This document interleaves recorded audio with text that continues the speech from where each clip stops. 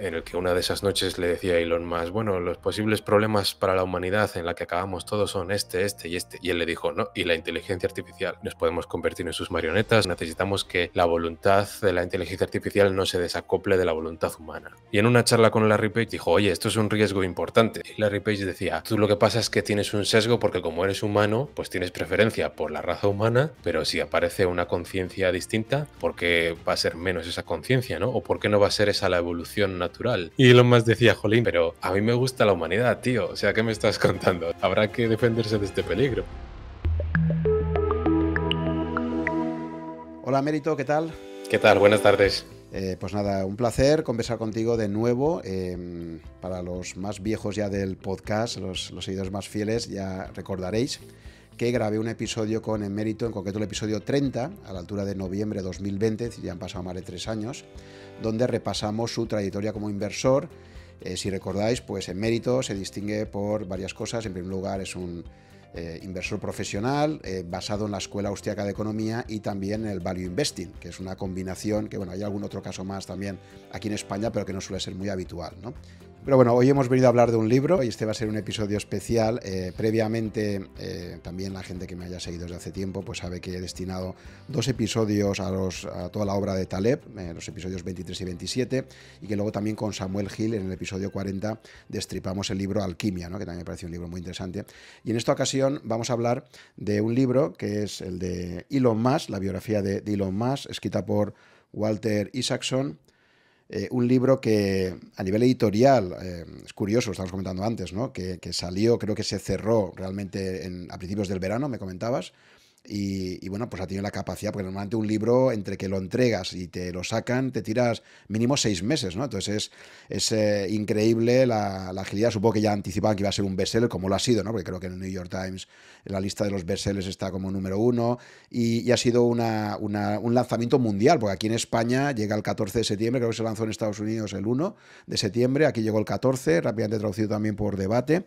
Y, bueno, pues efectivamente la, apuesta era ganadora. Ya sabemos que cualquier cosa que, haga referencia a Elon Musk suele ser un, suele ser algo que, atrae muchísimo el foco mediático. ¿no? Hemos pactado, Mérito y yo, por cierto, también, eh, vamos a llamar a, Elon en su, en su pronunciación inglesa. ¿eh? Elon Musk, eh, en español sería Elon Musk, pero bueno, nos ha parecido que sería lo más, lo más correcto. Sí, sí, no, te estaba diciendo que, que, este hombre, Walter Isaacson, es verdad que, que tiene mucho mérito, el que al final del libro te está hablando de cosas que pasan en abril de 2023, en mayo de 2023 y, que poco, casi en el verano y que meses, pocos meses después ya lo tengas en, las manos, ¿no? Habla de cosas muy recientes. Creo que estuvo dos años con él eh, mm, estando, estando en, codo con codo, digamos, en su trabajo, eh, asistiendo a las reuniones y luego horas y horas de entrevistas, no solo con él, sino con familiares y con amigos y, ha quedado algo bastante íntimo, bastante personal, un poco para entender por qué él es, él es como es y para quitar esa caricatura que tenemos de, de las noticias. Y que posiblemente no, yo no descartaría una, segunda edición más adelante, porque esto es una historia viva, a diferencia de, del resto de biografías que, ha hecho, mm, aquí aún se está escribiendo la historia, ¿no? Entonces, hmm. probablemente en el futuro tal. Quien quiera tener una, también un testimonio de primera mano de esto, Les Friedman le, entrevista a Walter Isaacson en, uno de sus podcasts, donde repasa varias biografías que tiene. Ahí podéis, eh, para que está en inglés, pero bueno, ahí podéis también ver un poco las impresiones del propio autor. Pero bueno, eh, el enfoque que le queríamos dar hoy al, episodio era centrarlo en algo donde, donde además mérito para mí tiene mucho skin in the game, ¿no? Porque ya sabéis que cualquiera que, siga un poco las ideas talebianas, que yo las sigo en muchísimas cosas y me gusta mucho en eso, no, no lo de Bitcoin, por cierto, que sabemos que Taleb ha pasado de ser el prologuista de, del libro de Saifdin Amus a convertirse en el mayor detractor de Bitcoin, hasta el punto de que la segunda edición del libro de, de Saifdin lo tuvo que prologar Michael Saylor, que era el, CEO de MicroStrategy, bueno, y la pelea, la pelea entre los dos libaneses ha sido antológica, ¿no? Pero también ha sido otro episodio de estos divertido, ¿no? Muy divertido, sí. Bueno, pues yendo, como os digo, al tema del libro y de Elon Musk, el, enfoque que nos interesaba comentar hoy aquí para todos vosotros es un enfoque eh, muy centrado en algo que para emérito es algo que destaca muchísimo. Eh, emérito, si os leéis la última carta eh, a los partícipes que ha publicado en diciembre pasado, muy, muy recomendable, por cierto, me ha gustado mucho. Eh, básicamente la tesis de inversión de mérito es que invierte en personas. Eh, de hecho, literalmente vienes a decir algo así como las personas crean los resultados futuros, la contabilidad futura, amplían o reducen las ventajas competitivas, innovan o se duermen en los laureles, crean valor para ti o lo destruyen. A largo plazo las personas son la tesis de inversión. ¿no? Esto has llegado a decir en, Twitter. Esa es la idea, sí. Y entonces lo que más nos interesa destacar de, este libro de Elon Musk es fundamentalmente cómo imprime eh, cultura de empresa a todas, las, a todas las iniciativas empresariales en las que se mete, ¿no? Em, entonces, por, dar un poco del skin, para, entender un poco el skin de game que tiene, que, mérito tiene en esto, eh, primero decir que Tesla actualmente creo que sigue ocupando la tercera posición en, la cartera de inversiones de, Numantia, tanto en el fondo como en el plan de pensiones.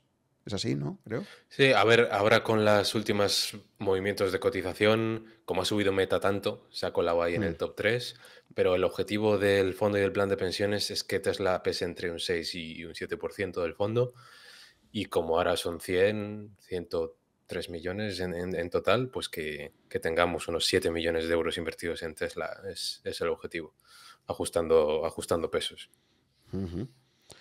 ¿Vale? Entonces tienes una posición muy importante, tercera, cuarta posición, 6-7%, es, es una, inversión muy significativa. Hmm. En una empresa que está muy, muy estudiada por el mercado, una de las más grandes, igual que Meta, igual que Amazon, que son tus otras dos inversiones en las siete magníficas, ¿no? Em, y, que eso supongo que también te habrá supuesto mucho debate y mucha crítica de gente que dice, oye, a ver, un fondo de autor, pero para que me inviertas en tres de las siete magníficas, tal, ¿no? Eso te, ha podido generar también, supongo que bastante crítica quizás de gente, ¿no? Que no lo acaba de entender. Es, algo curioso, porque la gente se piensa que, las empresas grandes y más seguidas y, y, sobre las que más se habla son las que tienen la cotización más eficiente. Y yo no solo no creo eso, sino que creo que pasa lo contrario, que precisamente sobre las que más atención mediática hay, que son las más grandes, son más movidas por las narrativas imperantes y por las emociones. Y además es que se ve clarísimo, en, las empresas más grandes del mundo se ven movimientos de cientos de miles de millones en el valor, eh, en la capitalización, de seis meses, eh, con seis meses de diferencia, con doce meses de diferencia. Lo más es lo más claro que hemos visto últimamente ha sido el caso de Meta, que, hace un año, año y medio cotizó, llegó a cotizar en 90 dólares por acción. Ahora son 470 y algo dólares por acción y todo ha sido un cambio de sentimiento y cambio de narrativas, ¿no? Pero es una de las empresas más grandes del mundo, que parece que más atención tiene, más analistas tiene. Luego ves empresas familiares muy pequeñas o nanocaps, microcaps, que están casi siempre a su valor razonable. Eh, porque la familia sabe cuál es el valor eh, razonable y lo aprovecha y lo, comunica bien y, no, tiene, no tienen mucha atención esa, algunas empresas, pero suele estar a, precio razonable o con un pequeño descuento simplemente por iliquidez. Entonces, lo de que las más grandes tienen eh, más eficiencia y, para comprar las más grandes, pues, eh, pues ¿para qué quiero tu fondo? Pues bueno, si el fondo no es para, no, es de, no es de cara a la galería, es, la cartera que yo quiero para mí y para mi familia. Entonces tengo las que, las que creo que es lo correcto, las que entiendo, en las que veo infravaloradas. Pero sí, yo creo que las oportunidades están a, todos los niveles, en empresas grandes, en pequeñas, en gigantes y en enanas. Hola, espero que estés disfrutando de este episodio. Si te gusta el podcast, suscríbete con tu mail a mi blog en Rankia en rankia.com barra blog barra suc. Así te mantendré informado de cada nuevo episodio con enlaces a los contenidos comentados y tendrás la oportunidad de participar en encuestas y encuentros virtuales para decidir los contenidos futuros del podcast. Además, si quieres apoyar que este podcast siga adelante, te invito a echar un vistazo a los patrocinadores en la descripción del episodio. Todos han pasado mi filtro de calidad en cuanto a los productos que ofrecen. Gracias por tu colaboración.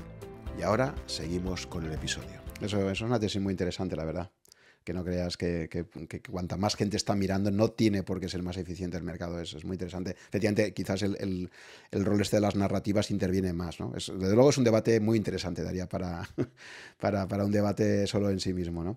Pero bueno, mm. volviendo al libro, eh, también por explicar un poco eh, pues, qué es lo que nos ha llevado a este episodio, leyendo tu carta eh, anual de Numantia de diciembre 2023, dices literalmente. Yo era un libro que tenía ya en el radar porque la figura de Elon Musk hace muchísimo tiempo que me interesa. De hecho, ya me había comprado, hay una biografía previa eh, que me la leí en su día, ¿vale?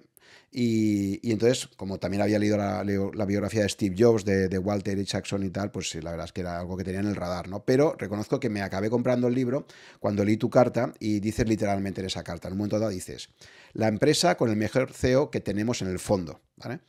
En el fondo de inversión.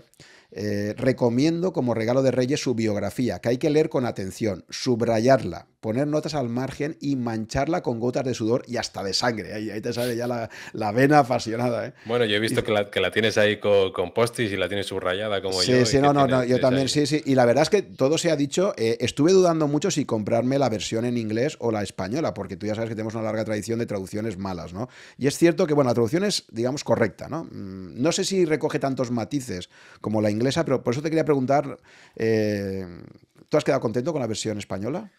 Sí, a ver, es verdad que hay cosas que sabes lo que está diciendo en inglés y, o sea, sabes por qué la traducción es mala. Sabes cómo lo escribió en inglés solo por, eh, por contexto, ¿no? Mm, pero bueno, yo quise cogerla en español porque me, llegaba antes en español y porque también quería que la, que la leyese mi padre y que la leyese más gente cercana a mí que tiene más problemas con el inglés y, y quería empezar cuanto antes con ella.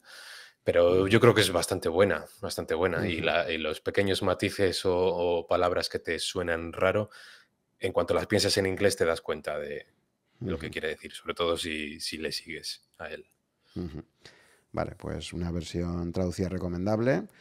Y, bueno, vamos a entrar en ello, vamos a entrar ya en materia.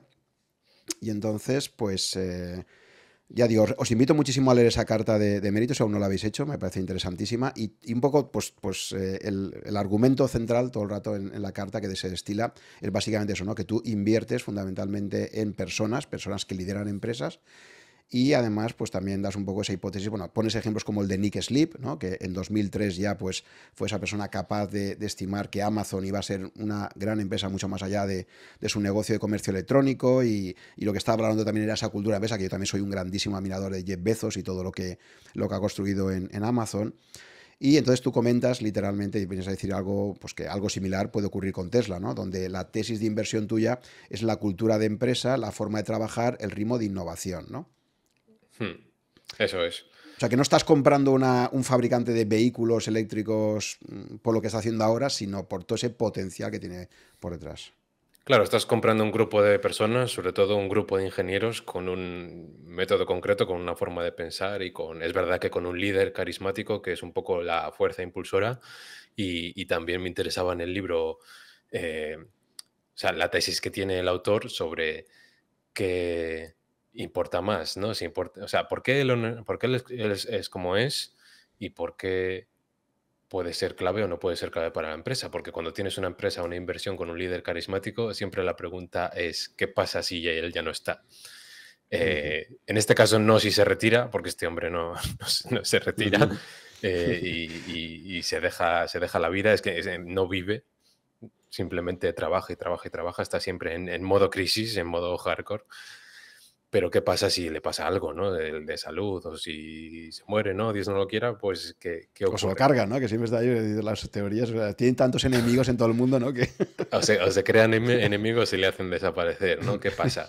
Él es la única fuerza impulsora para sacar esto adelante y para que se consigan hacer las cosas y para que tenga valor o no. O ya se ha conseguido rodear de gente que que, conoce su forma de trabajar y que, es capaz de sacrificarse. porque es que eh, esa es la pregunta principal. Pero es verdad que por su forma de, trabajar y de ver las cosas, eh, la gente que, quiera tener una vida quizás más equilibrada entre el trabajo y la familia acaba quemada o acaba siendo despedida, acaba fuera de Tesla, ¿no? Porque él está en modo zafarrancho constante. Entonces es difícil eh, trabajar muchos años en, Tesla. Es verdad que para muchos ingenieros es una, mm, eh, ¿cómo se dice? Es una inspiración y es emocionante estar ahí resolviendo problemas complicados y importantes para el mundo y contagiarte de esa misión, pero es duro, es duro. Hay mucha gente que le tiene miedo a Elon por cómo, por cómo mm. piensa a veces o porque si no le das una respuesta convincente igual te despide ahí en el momento y, que no es nada personal para, para, él, ¿no? Porque digamos que él siempre tiene una visión más eh, eh, de la humanidad y de, y de cómo mm. y de lo que quiere conseguir. Entonces, si, si ve que, que, una persona es un impedimento, pues la, la despide. Y no, no es nada personal, o sea, él critica las acciones y no a las personas, pero igual luego has tenido una discusión con él y a los, y a los dos días no se acuerda ni que discutió contigo, puede que ni, ni de quién eres, ¿no? Pero bueno, la, la, pregunta es esa. ¿Él es clave para la empresa? Está claro que para lo que ha construido sí, pero para el futuro de la empresa ha conseguido crear una cultura a su alrededor o sigue siendo él la única, eh, la única llama. Sí, que sería algo parecido a la pregunta que, que nos haríamos, bueno, que nos hicimos todos en su momento con Steve Jobs y Apple, ¿no?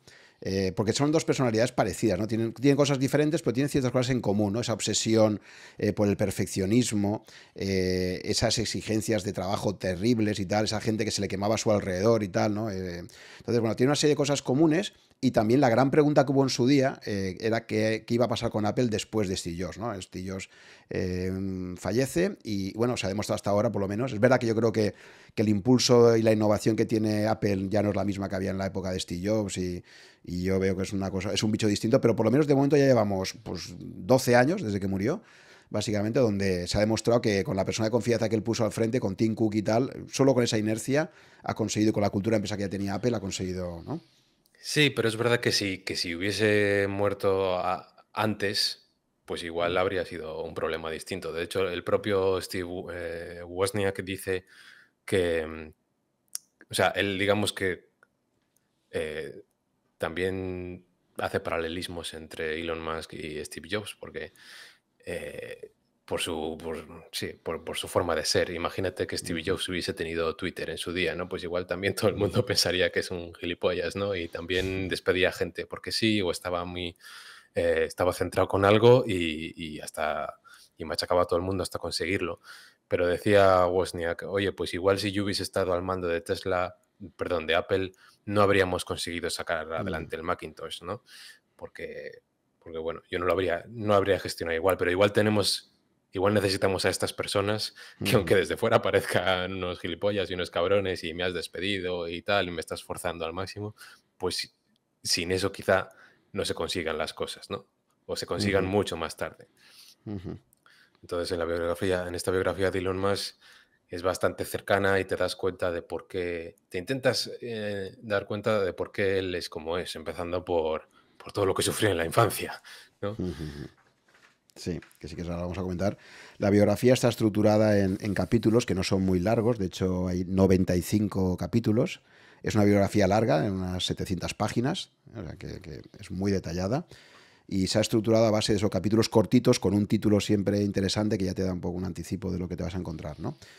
Eh, entonces, bueno, si quieres por, estructurar un poquito lo que es el libro y también un poco por qué te ha impactado tanto a ti, eh, podemos empezar por eso, ¿no? Primero su, background, ¿no? De por qué Elon Musk es lo que es hoy en día y, bueno, ya has introducido el tema de, cómo le va a marcar su infancia, ¿no? Bueno, su infancia y su síndrome de Asperger también, ¿no? Que es una cosa que también comentas en la propia carta, ¿no? De Numantia.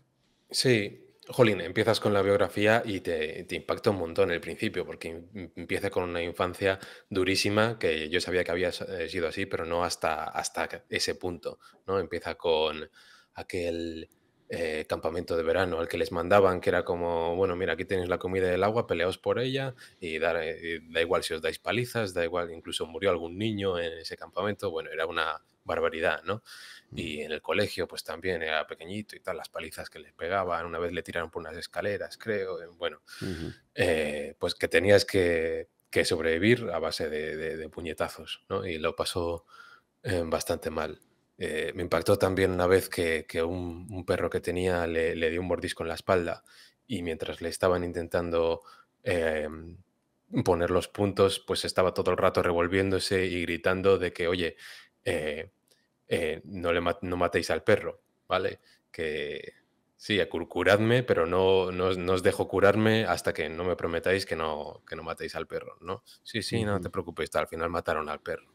Entonces, entre todas esas cosas y, el padre que, que le tenía, le obligaba a estar delante de él durante horas diciéndole eres un inútil, no vales para nada y machacándole emocionalmente, eh, digamos que esa llave o válvula emocional la, la, tiene cerrada para bien y para mal, ¿no? O sea, no, puede que le sirva para, em, para asumir más riesgos y para, para no tener miedo, pero tampoco sientes otras cosas, ni eres sensible, ni eres empático. A eso súmale lo del, lo del Asperger, que su Asperger es un poco especial porque digamos que le aumenta la capacidad de concentración, hasta tal punto que él cuando le interesa algo y está pensando en ello, mm, ni te oye ni te ve. O sea, él está a lo suyo y está concentrado y todos sus sentidos se apagan porque está pensando. Entonces no te oye, no te ve. Le pasaba de niño y le, pasa ahora. Y eso para, para el trabajo suyo pues es bueno. No solo porque hay una falta de atención y de concentración muy importante en el mundo, sino porque te sirve para, em, para ver los problemas a mayor escala y a mayor plazo Tú cuando, cuando te piensas que estás mm, pensando a lo grande, luego hablas con él y él ya ha pensado muchísimo, muchísimo más allá en, escala, en alcance y, en, tiempo. Y simplifica las cosas mucho más fácilmente y, por eso ve las cosas quizá 30, 40 años que, antes que el resto, yendo a, las bases, a los principios fundamentales de la física incluso. Eh, no sé, yo recuerdo, por ejemplo, que pensar, oye, pues qué bien estaría ser inmortal, ¿no? Vivir 100 años o 200 años, 500 años, 1000 años, 5000 años. A veces he, dicho yo, Jolín, cada vez que una persona nace, eh, imagínate que quieres avanzar en un campo de la ciencia. Pues como cada vez hay más investigado, eh, cada vez necesitamos más tiempo de vida para llegar al punto en el que de verdad empiezas a innovar y avanzar en un campo. ¿no? Que eres cada vez más mayor y avanzas un poco y luego ya te mueres. Pero imagínate que tuviésemos un, cirujano con 200 años o 500 años de know-how en su cabeza, o un ingeniero o un físico, pues podríamos avanzar mucho más rápido.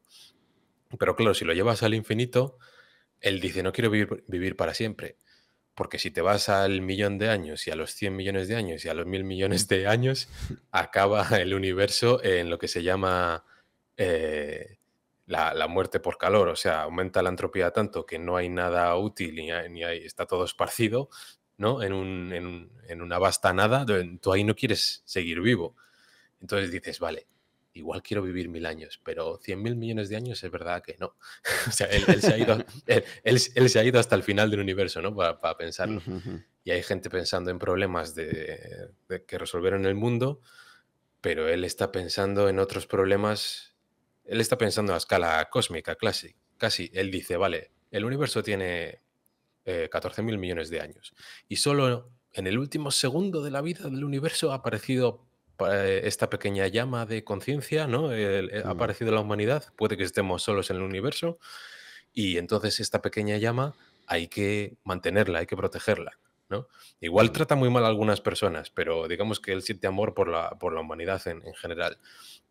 Entonces dice, tenemos que conseguir hacer la especie multiplanetaria porque no sabemos, se ha abierto una ventana en la que podemos eh, tener la tecnología para salir de aquí, pero no sabemos cómo de grande es esa, esa ventana. Entonces eh, hay que conseguir ser una especie multiplanetaria, empezando por qué? Por Marte. Y pasar ese filtro en el que tienes tantas toneladas eh, de material y tanta gente en Marte que si dejan de llegar las naves desde Marte, eh, la gente en Marte pueda seguir sobreviviendo. O sea, él quiere que, él quiere antes de morir llegar a Marte y pasar ese filtro. Si pasa, si nos destruimos, si pasa, le pasa algo a la Tierra o nos destruimos los unos a los otros, mm. Mm, pues que haya un plan B, ¿no? Entonces dices, Jolín, nunca lo había pensado así. Como que en, estos 14 mil millones de años se ha, aparecido una pequeña llama de conciencia y ha aparecido una pequeña ventana en la que podemos escapar de aquí y, y hay que intentar conseguirlo. Y es, bastante difícil. Esto tiene más que ver con, con el plan de SpaceX, ¿no? Eh, pero es bastante difícil porque él siempre dice que parece que está hecho a mala fe la combinación de la gravedad y de la atmósfera terrestre, porque es muy, muy difícil salir de la órbita. Entonces parece que está ajustado en la simulación del universo, parece que está puesto a mala fe para que sea difícil eh, salir, pero es su objetivo. Entonces, él digamos que hace un plan, un, plan de negocio, no, hace un plan de mil años vista, no sé, por ejemplo, de SpaceX, ser una especie multiplanetaria y empezando por conquistar Marte. Entonces, de ahí saca el plan de negocio. Y gracias a su Asperger lo consigue, o sea, consigue llegar a cuál es el indicador más relevante a optimizar, porque muchas veces no sabemos para conseguir algo qué es lo que hay que mejorar. Entonces, en el tema de SpaceX, ¿cuál es el indicador clave? Reducir el coste de poner un kilo en órbita. Si reduces los costes por kilo en órbita, eh, conseguimos, eh, conseguimos nuestra misión.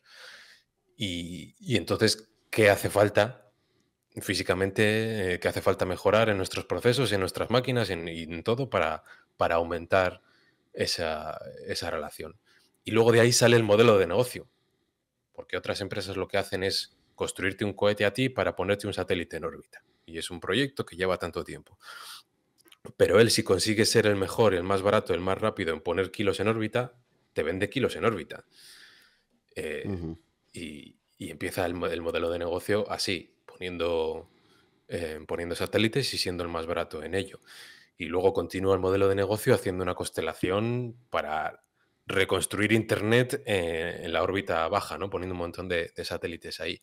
Así, para generar dinero y para conseguir más y más y más dinero hasta conseguir financiar poner un millón de toneladas en Marte, que es obviamente carísimo, ¿no? Mm. Pero de, esa visión parte em, el modelo de negocio. Y siempre centrándose en, los modelos, eh, o sea, en la física fundamental. si esto es físicamente posible, eh, esa es la restricción.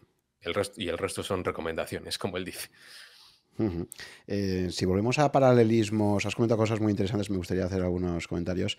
Eh, si volvemos a paralelismos con Steve Jobs, efectivamente, cuando, cuando escuchas una entrevista de, Elon Musk, una cosa que te llama atención, es, eso es muy japonés, sus silencios, ¿no? lo que decías tú de que es una persona que se concentra y, y, no son silencios impostados, es que realmente te das cuenta que está pensando en tiempo real cuando le hace una pregunta. No es una persona de estas que cuando tú le haces una pregunta a alguien y te contesta enseguida, te das cuenta que no, ha tenido tiempo de pensar. Entonces, o es algo que tenías ya prefabricado, o e, él, lo piensa de forma genuina, ¿no? Se tira unos segundos ahí y, se toma su tiempo. Eso también lo hacía Steve si te fijas, ¿no? Si has visto algunas entrevistas suyas, Steve también se quedaba ahí un poco abstrayéndose y no era un, de respuesta inmediata, no era una respuesta construida, sino una, una respuesta reflexionada en ese momento, ¿no?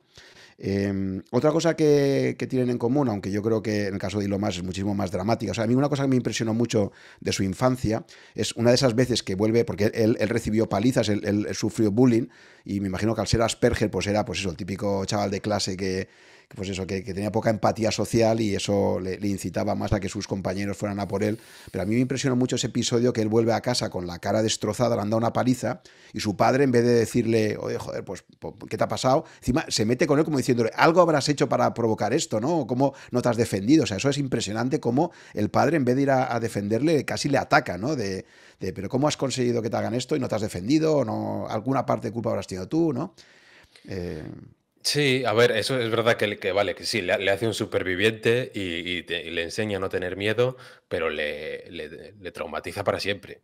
Le traumatiza para siempre. Y, le tiene siempre en ese, lo que llama él eh, el modo crisis. O sea, él, no puede pararse a disfrutar de un éxito y, o a tomarse, no es natural para él tomarse vacaciones tampoco ni, no sé, ni pararse a disfrutar de, una puesta de sol ahí desde la fábrica, ¿no? además, eso, ahora que dices de las vacaciones, hay, una anécdota muy dramática, por cierto, o sea, aquí también te das cuenta de nuevo del azar, ¿no? O sea, Elon Musk podría haber muerto hace ya tiempo, porque cuenta el, cuenta el episodio este que se va, se coge una semana de vacaciones, se va a, Sudáfrica a disfrutar de, de, un safari por allí, con su, se acaba de casar, quiero recordar, y, coge un tipo de malaria, o sea, cuando vuelve a San Francisco, se pone malo, está enfermo, va allí y tiene la inmensa suerte de que el médico que la atiende en el hospital había tratado dos casos de malaria previamente, porque además era, era una variante de malaria que era la, la, más peligrosa de todas y estuvo a punto de morir, ¿no? Y yo siempre pienso estas cosas de fíjate lo que habría pasado, cómo habría cambiado la historia si, si este hombre muere, ¿no? Con ese episodio de malaria, ¿no? Entonces él también asocia, se dice un poco de forma divertida ya luego, un poco haciendo humor, humor negro, diciendo, claro, Elon Musk le cogió cierta versión a las vacaciones después de que para una semana que se coge de vacaciones casi palma, ¿no? Creo que, fueron 14, 14, años de trabajo, de trabajo duro, eh, y una semana de vacaciones y le pasa eso, sí.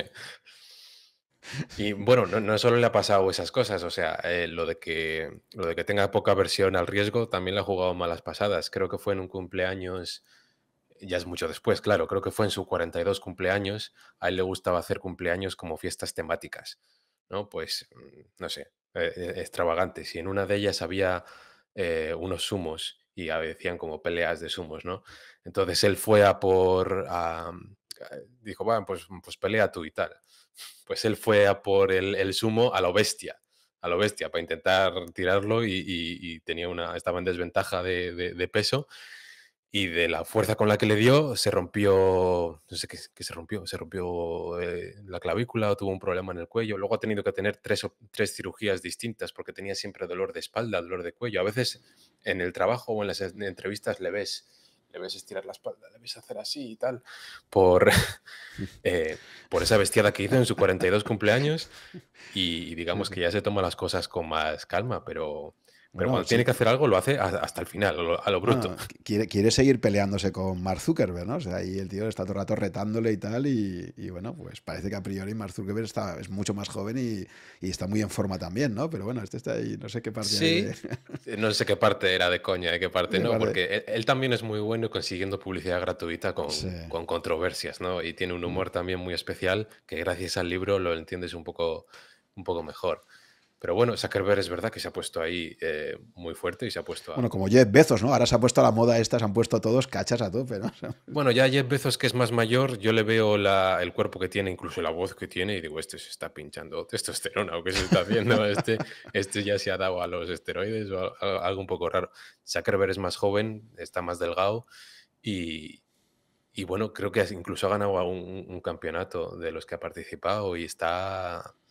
Eh, está en forma.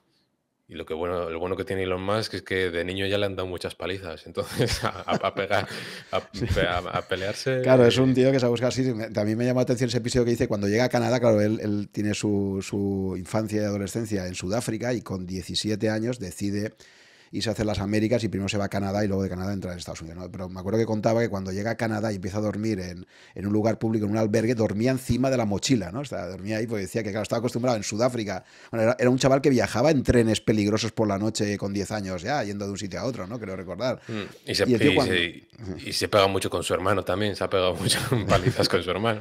Y, decía, y decía que cuando llega a Canadá, una cosa que le llama atención es que la mayor parte de casas no tenían barrotes en las ventanas y tal, ¿no? Era como que, oye, aquí parece que hay mucha más seguridad de la que estoy acostumbrado en Sudáfrica, ¿no? Incluso ahora, incluso ahora viene gente de Sudáfrica a Europa y dice, pero ¿cómo, sí, cómo no tenéis barrotes? ¿Cómo dejáis eh, salir a los niños por la calle? Y con... Sí, sí. O sea, eso no, eso no es de cuando él era niño, eso sigue sorprendiendo ahora. Eh, pero bueno, sí, la, infancia es dura. Digamos que entiendes un poco eh, em, los traumas que tiene o porque él, él es como es digamos que es un... El, autor dice es un imán para el drama y, no tiene miedo. Y eso también lo ves un poco, luego te habla mucho pues de las novias, las relaciones que ha tenido también, se ve como que cuanto más drama hay en la relación mejor. Pero claro, no, no sobrevive en sus relaciones a largo plazo, a, pesar de que tiene muchísimos hijos, porque está siempre centrado en otras cosas y está siempre trabajando. Entonces, ¿cómo vas a tener ese equilibrio familia, trabajo. Eh. Sí, me acuerdo también unas declaraciones, esto no está en el libro creo, pero, pero me acuerdo de unas declaraciones suyas hace algún tiempo que decía, estoy calculando cuántas horas semanales tengo que destinar a, a mi pareja eh, para que la relación pueda sobrevivir y tal, ¿no? O sea, como, no sé si con 10 horas semanales o 8 horas de atención eh, cubriría, ¿no? Y tal ¿no? Y además él que ha tenido un montón de hijos también, ¿no? Que también sabes la, la, tesis que tiene, que él dice que uno de los principales problemas que hay en el mundo no es, la reducción de natalidad, o sea, no es eh, precisamente el que seamos 8.000 millones ya y que vayamos a ser 9.000 relativamente pronto, sino al revés, ¿no? Que considera que, que la caída de la natalidad es un gran problema, ¿no? Para Occidente, sobre todo. Sí, a mí eso siempre me ha sorprendido porque es una cosa que coincide con la Escuela Austríaca de Economía. Huerta de Soto lo, enfatiza mucho. Dice, solo hay dos opciones, o somos muchas personas y somos ricos, o somos pocos y pobres. O muchos y ricos o pocos y pobres. Y es un poco antiintuitivo porque la gente piensa que la Tierra es como una montaña de recursos que se va vaciando y no lo ve todo en sentido económico, ¿no? Y cuantas más personas somos, más nos podemos especializar, más se profundiza en la división del trabajo, más, eh, em, más podemos ahorrar, más podemos producir, entonces más ricos somos todos. Pero si fuésemos, em, si desaparece todo el mundo y solo somos 100 personas, aunque tengamos todas las máquinas y todas las cosas, no podemos hacer ni, ni un lápiz, ¿no? Como explicaba Milton Friedman.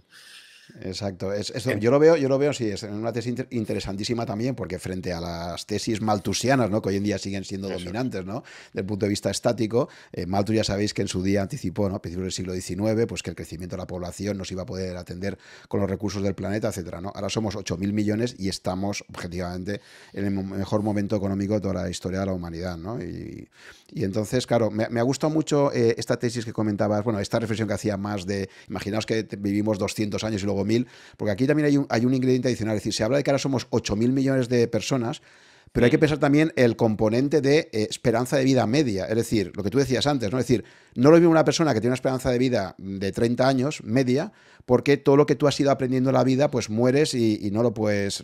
cuando llegas a tu mejor momento, digamos, es cuando ya, ya has muerto, ¿no? Y no has tenido esa capacidad de, poder aplicar toda tu experiencia y, y, aprendizaje. En la medida en que la humanidad va ampliando la esperanza media y que encima somos 8.000 millones y multiplicamos número de habitantes por vida media, nos da, digamos, como si esto lo viéramos en términos de, una red neuronal, nos está dando una, capacidad eh, computacional y de generación de cosas brutal, ¿no? Porque estás multiplicando los dos componentes, ¿no? Y claro, cuando tú me estás hablando de 200 años o de 1000 años, pues imagínate, ¿no?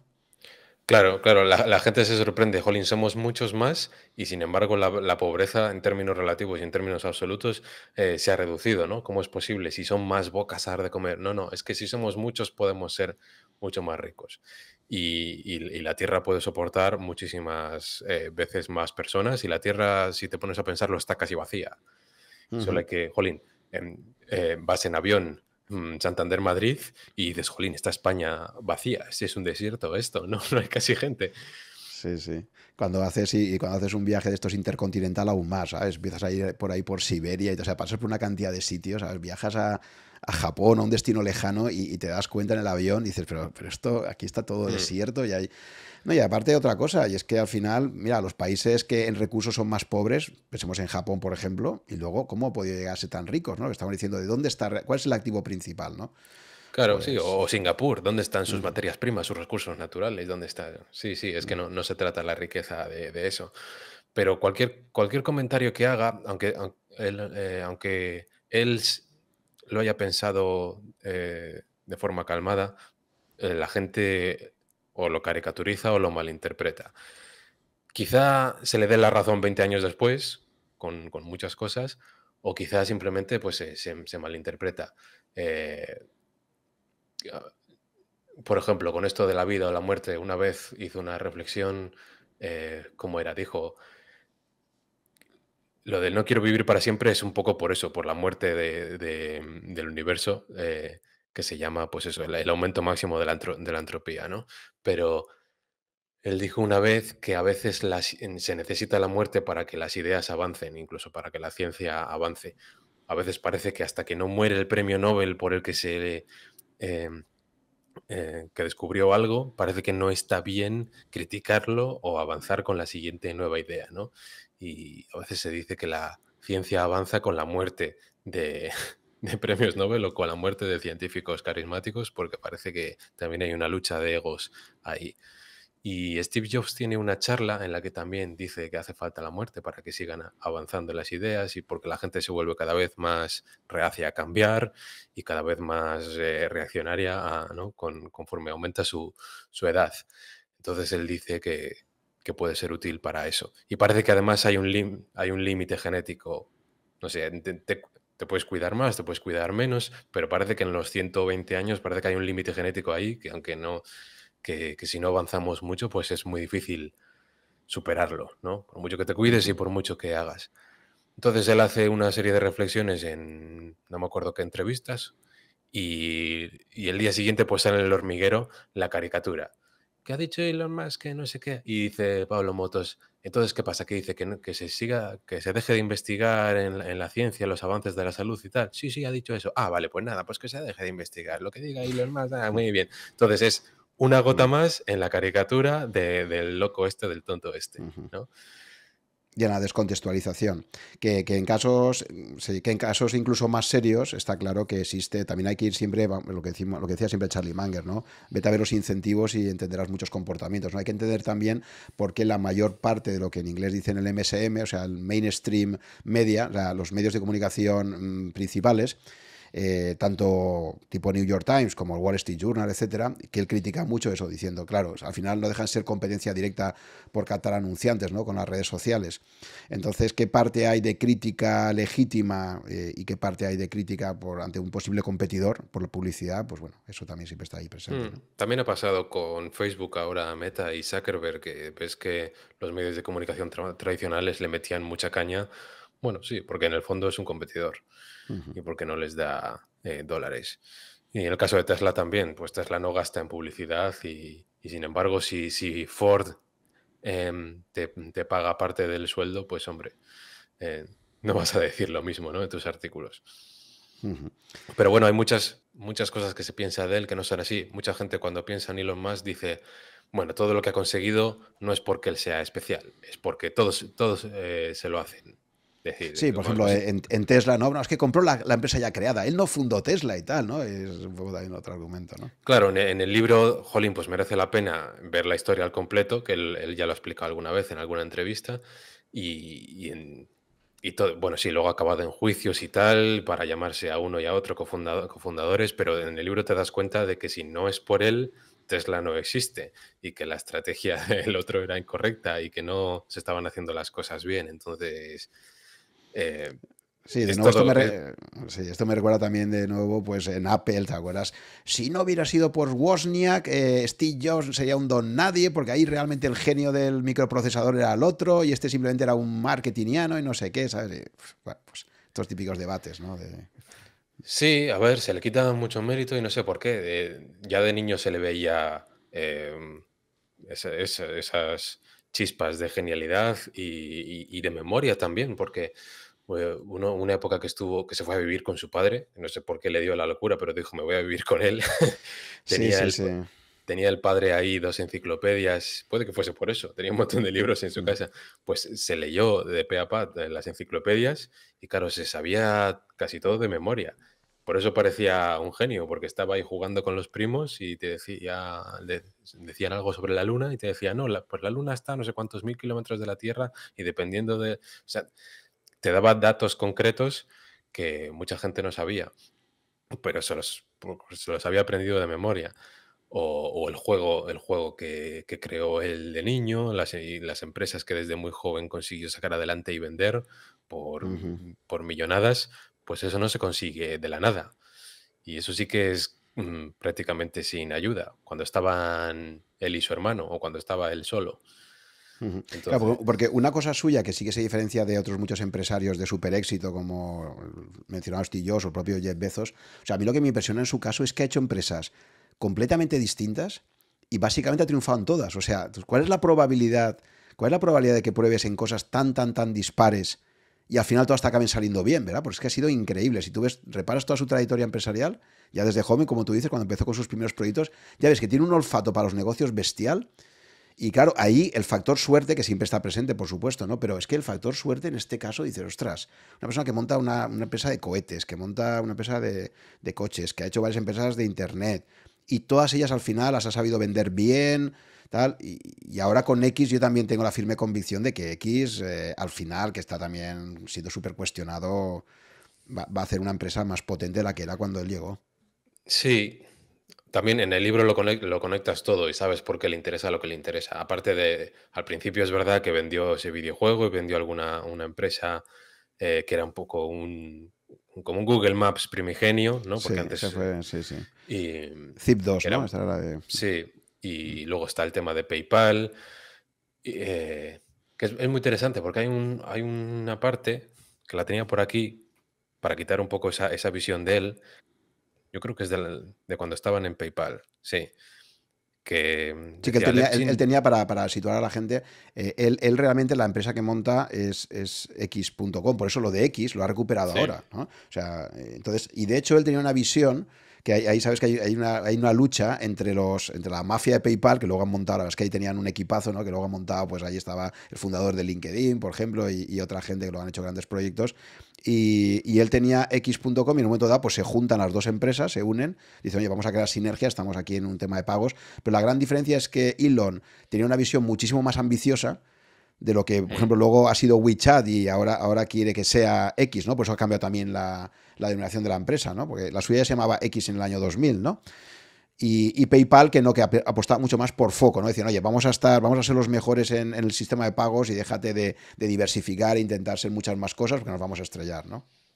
Y, él, ahí pierde la batalla en una batalla también muy parecida a la que perdió Steve Jobs en el Consejo de Administración de Apple cuando lo tiran en el, 2000, en el 96, ¿no? Sí, por eso luego siempre se centra mucho en mantener el control y, no, eh, vosotros lleváis la empresa y sois los accionistas, pero yo soy el, que ejecuto los productos y tal. No, no, luego se vuelven contra mí y, ya sé lo que me pasa muchas veces, ¿no? Entonces él, él quiere mantener el control para, eh, para evitar esos problemas. Pero cuando estaban ahí en PayPal, em, hay un trozo que me gustó a mí mucho, que dice que los ingenieros estaban peleándose con un difícil problema que afectaba a la base de datos de Oracle que estaban usando, y Musk asomó la cabeza en la sala, y aunque él era experto en Windows y no en Oracle, enseguida le pilló el contexto a la conversación, dio una respuesta precisa y técnica, y salió sin esperar de la habitación sin esperar confirmación. Entonces, eh, el jefe y su equipo se volvieron a sus manuales de Oracle para, para consultar lo que más acababa de decir, y dice, uno tras otro, fuimos diciendo, mierda, tiene razón. Entonces, él puede que diga cosas descabelladas, pero de vez en cuando te, sorprende, ¿no? Con esa mm, eh, exhibición de, perspicacia y que la gente simplemente no se espera porque dice, bueno, esto es un memo, esto es un tonto, este es un embustero, pero de, lo que sabe, sabe mucho. Además, él eh, le gusta ir a la fuente de la información. Cuando contrata una empresa incluso de construcción para hacer la nueva fábrica de Tesla, no habla con los directivos, eh, sino que habla con los trabajadores. O, oye, vamos a, hemos decidido que, que la Starship tiene que ser de acero, por ejemplo, porque el acero inoxidable tiene unas características que él se sabe de memoria y vamos a dejar el tema de la fibra de carbono. Entonces, eh, contratamos a esta empresa de, construcción para que hace eh, que hace tanques de agua de acero inoxidable. Pues para que haga un primer, un primer proyecto. Le ponemos un motor a un tanque de agua. También risas en la tele, bla, bla, bla. Bueno, pues él em, no va a hablar con los directores de la empresa, va a hablar con los soldadores, con los que están a pie de, obra allí, que, conocen el material, que saben lo que es capaz de hacer y de soportar y de...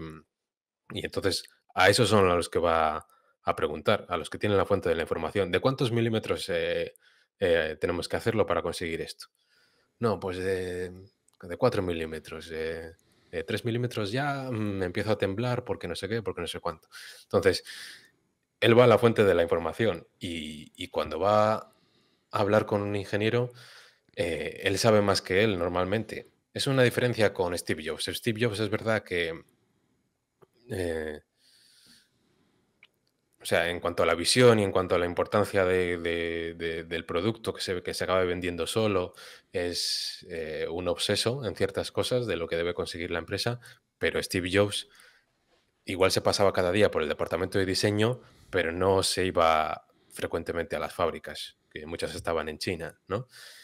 Y Elon Musk es diferente, él eh, está en en la batalla, está en el barro, está en las fábricas, está en donde está la gente soldando, está la gente con los robots, está la gente trabajando y, él además quiere que los ingenieros y los diseñadores estén al lado de los trabajadores y les dice, no, mira, hazlo tú, quiero que lo hagas tú porque así te vas a dar cuenta de, los errores y quiero que si el trabajador tiene una queja con cómo se ha diseñado algo, eh, eh, al que se lo tenga que decir esté al lado y que lo haga él y que se ensucie las manos y que digas, jolín, es que eres idiota como lo has diseñado así, vamos a, vamos a cambiar esto, ¿no? O cuando estaban con el problema de los techos solares, por ejemplo, pues llamó a todos los ingenieros y les dijo, venís aquí y os pasáis días montando techos solares eh, vosotros. aquí en Texas con 35 grados y con, y con los mosquitos. Y os ponéis a hacerlo y veis que el diseño es estúpido y lo mejoráis, pero a base de poneros vosotros. No puede ser que, el que lo hace y el que lo diseña esté a, mil kilómetros de distancia. Entonces, Él, sabe lo que dice. Yo, eh, por ejemplo, cuando con el tema de los cohetes y con el tema de los Teslas, una cosa que él hace es una lista de todos los componentes de todo, y de todos los costes. Y a partir de ahí él saca lo que llama el ratio de la idiotez, o el ratio del idiota, que es la diferencia entre lo que cuesta la pieza y el coste de sus materias primas. ¿no? Entonces, eh, que eso le, quemó mucho cuando, cuando intentó comprarle a los rusos los cohetes, ¿no? No, vale no sé cuántos millones, pero si esto es un montón de, metal, y ¿por qué me estáis cobrando tanto? Pues eso es lo que llama él el, rato, el ratio de la idiotez. Entonces hubo una vez que, cogió a un ingeniero y cuando se pone en zafarrancho con, con algo, yo qué sé, con el cohete Raptor, pues cogió al ingeniero del cohete Raptor y le dijo, a ver, eh, ¿cuáles son los 10 principales componentes em, que tienen más ratio de idiotez? ¿no?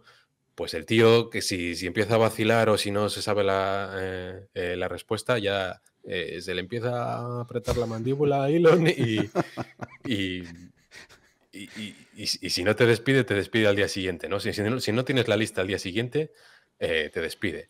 Pero, Claro, ese sentido, sí, sí, ese, sentido de urgencia que tiene él, por ejemplo, en Eso es. Eh, dos cosas de lo que dice, efectivamente. El episodio de los cohetes rusos es, muy divertido, porque ahora él viaja allí a, Rusia para, ver si se hace con los cohetes.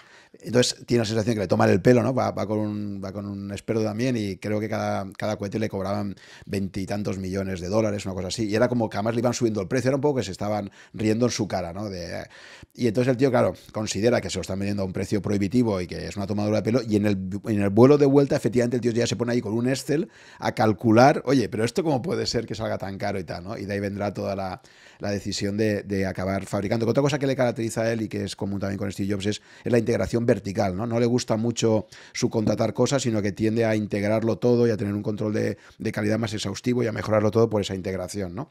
Claro, porque así, así, así lo puedes controlar y así puedes iterar rápidamente. Sí. Y, otra cosa que a mí me llamó muchísimo la atención y, está conectado con lo que tú decías ahora de como al día siguiente no lo sepas, el sentido de urgencia que tiene él, ¿no? Hay una anécdota también que comenta cuando, cuando compra X o Twitter en aquel momento, lo adquiere un viernes por la tarde, ya se queda ahí al mando y entonces dice, oye, eh, hay que cambiar la página, cuando te registras, la primera página que aparece aquí, nada más registrarte, no me gusta, ¿no? No me gusta que envíe ahí, quiero que envíe a otro sitio, ¿no? dicen, vale, pues y esto hay que cambiarlo ya. Entonces, lo que le decíamos la cultura, ¿no? Dicen, vale, pues esto ya el lunes, dice, no, no, el lunes no. Dice, ¿quién es el responsable de esto? Es tal ingeniero, vale, llamadle, ¿no? Entonces está a punto de coger un avión dice, oye, que Elon ha dicho que, a partir de ahora la, página de acceso eh, lleve a esta página, te encargas tú, ¿no? Pues voy a pedir un vuelo, vale, pues hazlo en el vuelo. O sea, como diciéndole, a partir de ahora, cuando digamos algo, aunque sea un viernes por la tarde, es para hoy, ¿no? No es para... Y claro, la gente que estaban allí habituales decían, ostras, en, en, Twitter nos tiramos semanas que para tomar decisiones, implementarlas y no sé qué, de repente llegaste y dice, hoy mismo, aunque sea un viernes tarde, se va a cambiar, ¿no? Sí, sí, ahí, ahí sí que confluyeron dos formas de ver el trabajo totalmente distintas, ¿no? El, el Musk verso y el mundo de Twitter de, bueno, llegamos aquí, tomamos el café, nos vamos a las maquinitas abajo y no, no hacemos nada, ¿no? Entonces, además la prueba del algodón es que despidió a la mayoría de los trabajadores y, y Twitter siguió funcionando y está eh, mejor que nunca, ¿no? Porque con, con unos pocos de los mejores ingenieros puedes hacer más que que con un montón de gente que no trabaja y que ya parece que se ha retirado. Entonces sí, esa sensación de urgencia es, es común, pero eh, digamos que el, algoritmo que, que, él, usa para resolver los problemas es común para, para todos. O sea, siempre con ese modo hardcore que llama él, de modo zafarrancho, de vamos a, vamos a solucionarlo eh, todo ahora y si no lo solucionas y si no tienes esa eh, ese empeño por trabajar duro, pues eres despedido, ¿no? Pero la forma de resolver los problemas siempre es la misma. Y una tiene que ver con lo que acabas de decir de dime quién es el responsable de esto. O sea, en, su famoso algoritmo, que es lo que todo el mundo tiene que aprender y lo que repite él en todas sus reuniones, el primer paso es poner en cuestión todos los requisitos, poner en cuestión todas las especificaciones de, del problema que sea, da igual que sea un coche, que sea un cohete, que sea eh, un, techo solar. Entonces, él quiere que cada pieza y cada requisito eh, tenga asociada a una persona. Porque le pasó muchas veces en, los coches, tenían un problema y decían, vale, ¿esto para qué es? No, es que dice el departamento que es para, eh, para los ruidos y las vibraciones. Y luego va al departamento y, dice, eh, y, le dice, no, no, eso es por la seguridad, porque el departamento de tal dice que, que es por esto. Entonces, él, eliminó esa parte y no pasó nada, hicieron pruebas físicas y no, y no había los problemas que decían.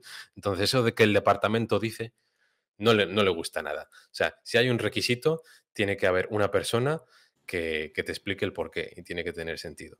Pero, pero el primer paso para todo es cuestionárselo. Y da igual que, que tiene que haber una persona que lo diga y da igual lo inteligente que sea. Hay que cuestionárselo. Y, entonces siempre va a haber un grado de estupidez en los requisitos, dice él.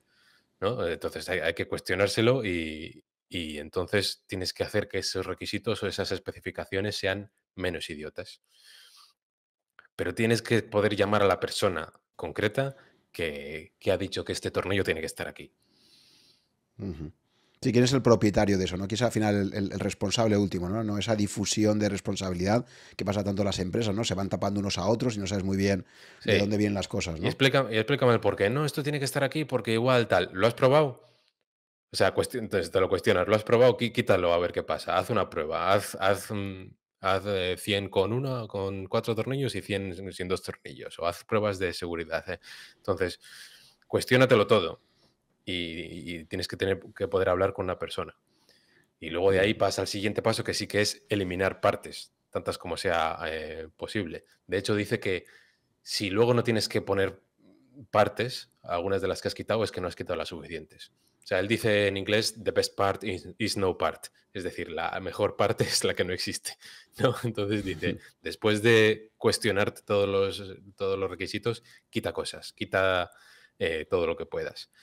Y eso también viene por, por problemas que ha tenido eh, en, momentos de crisis. Al final tú ves que, que, él se crece con las crisis, pero que ha vivido momentos en los que o estaba él allí para sacar las cosas adelante o, o, llegaba a la bancarrota.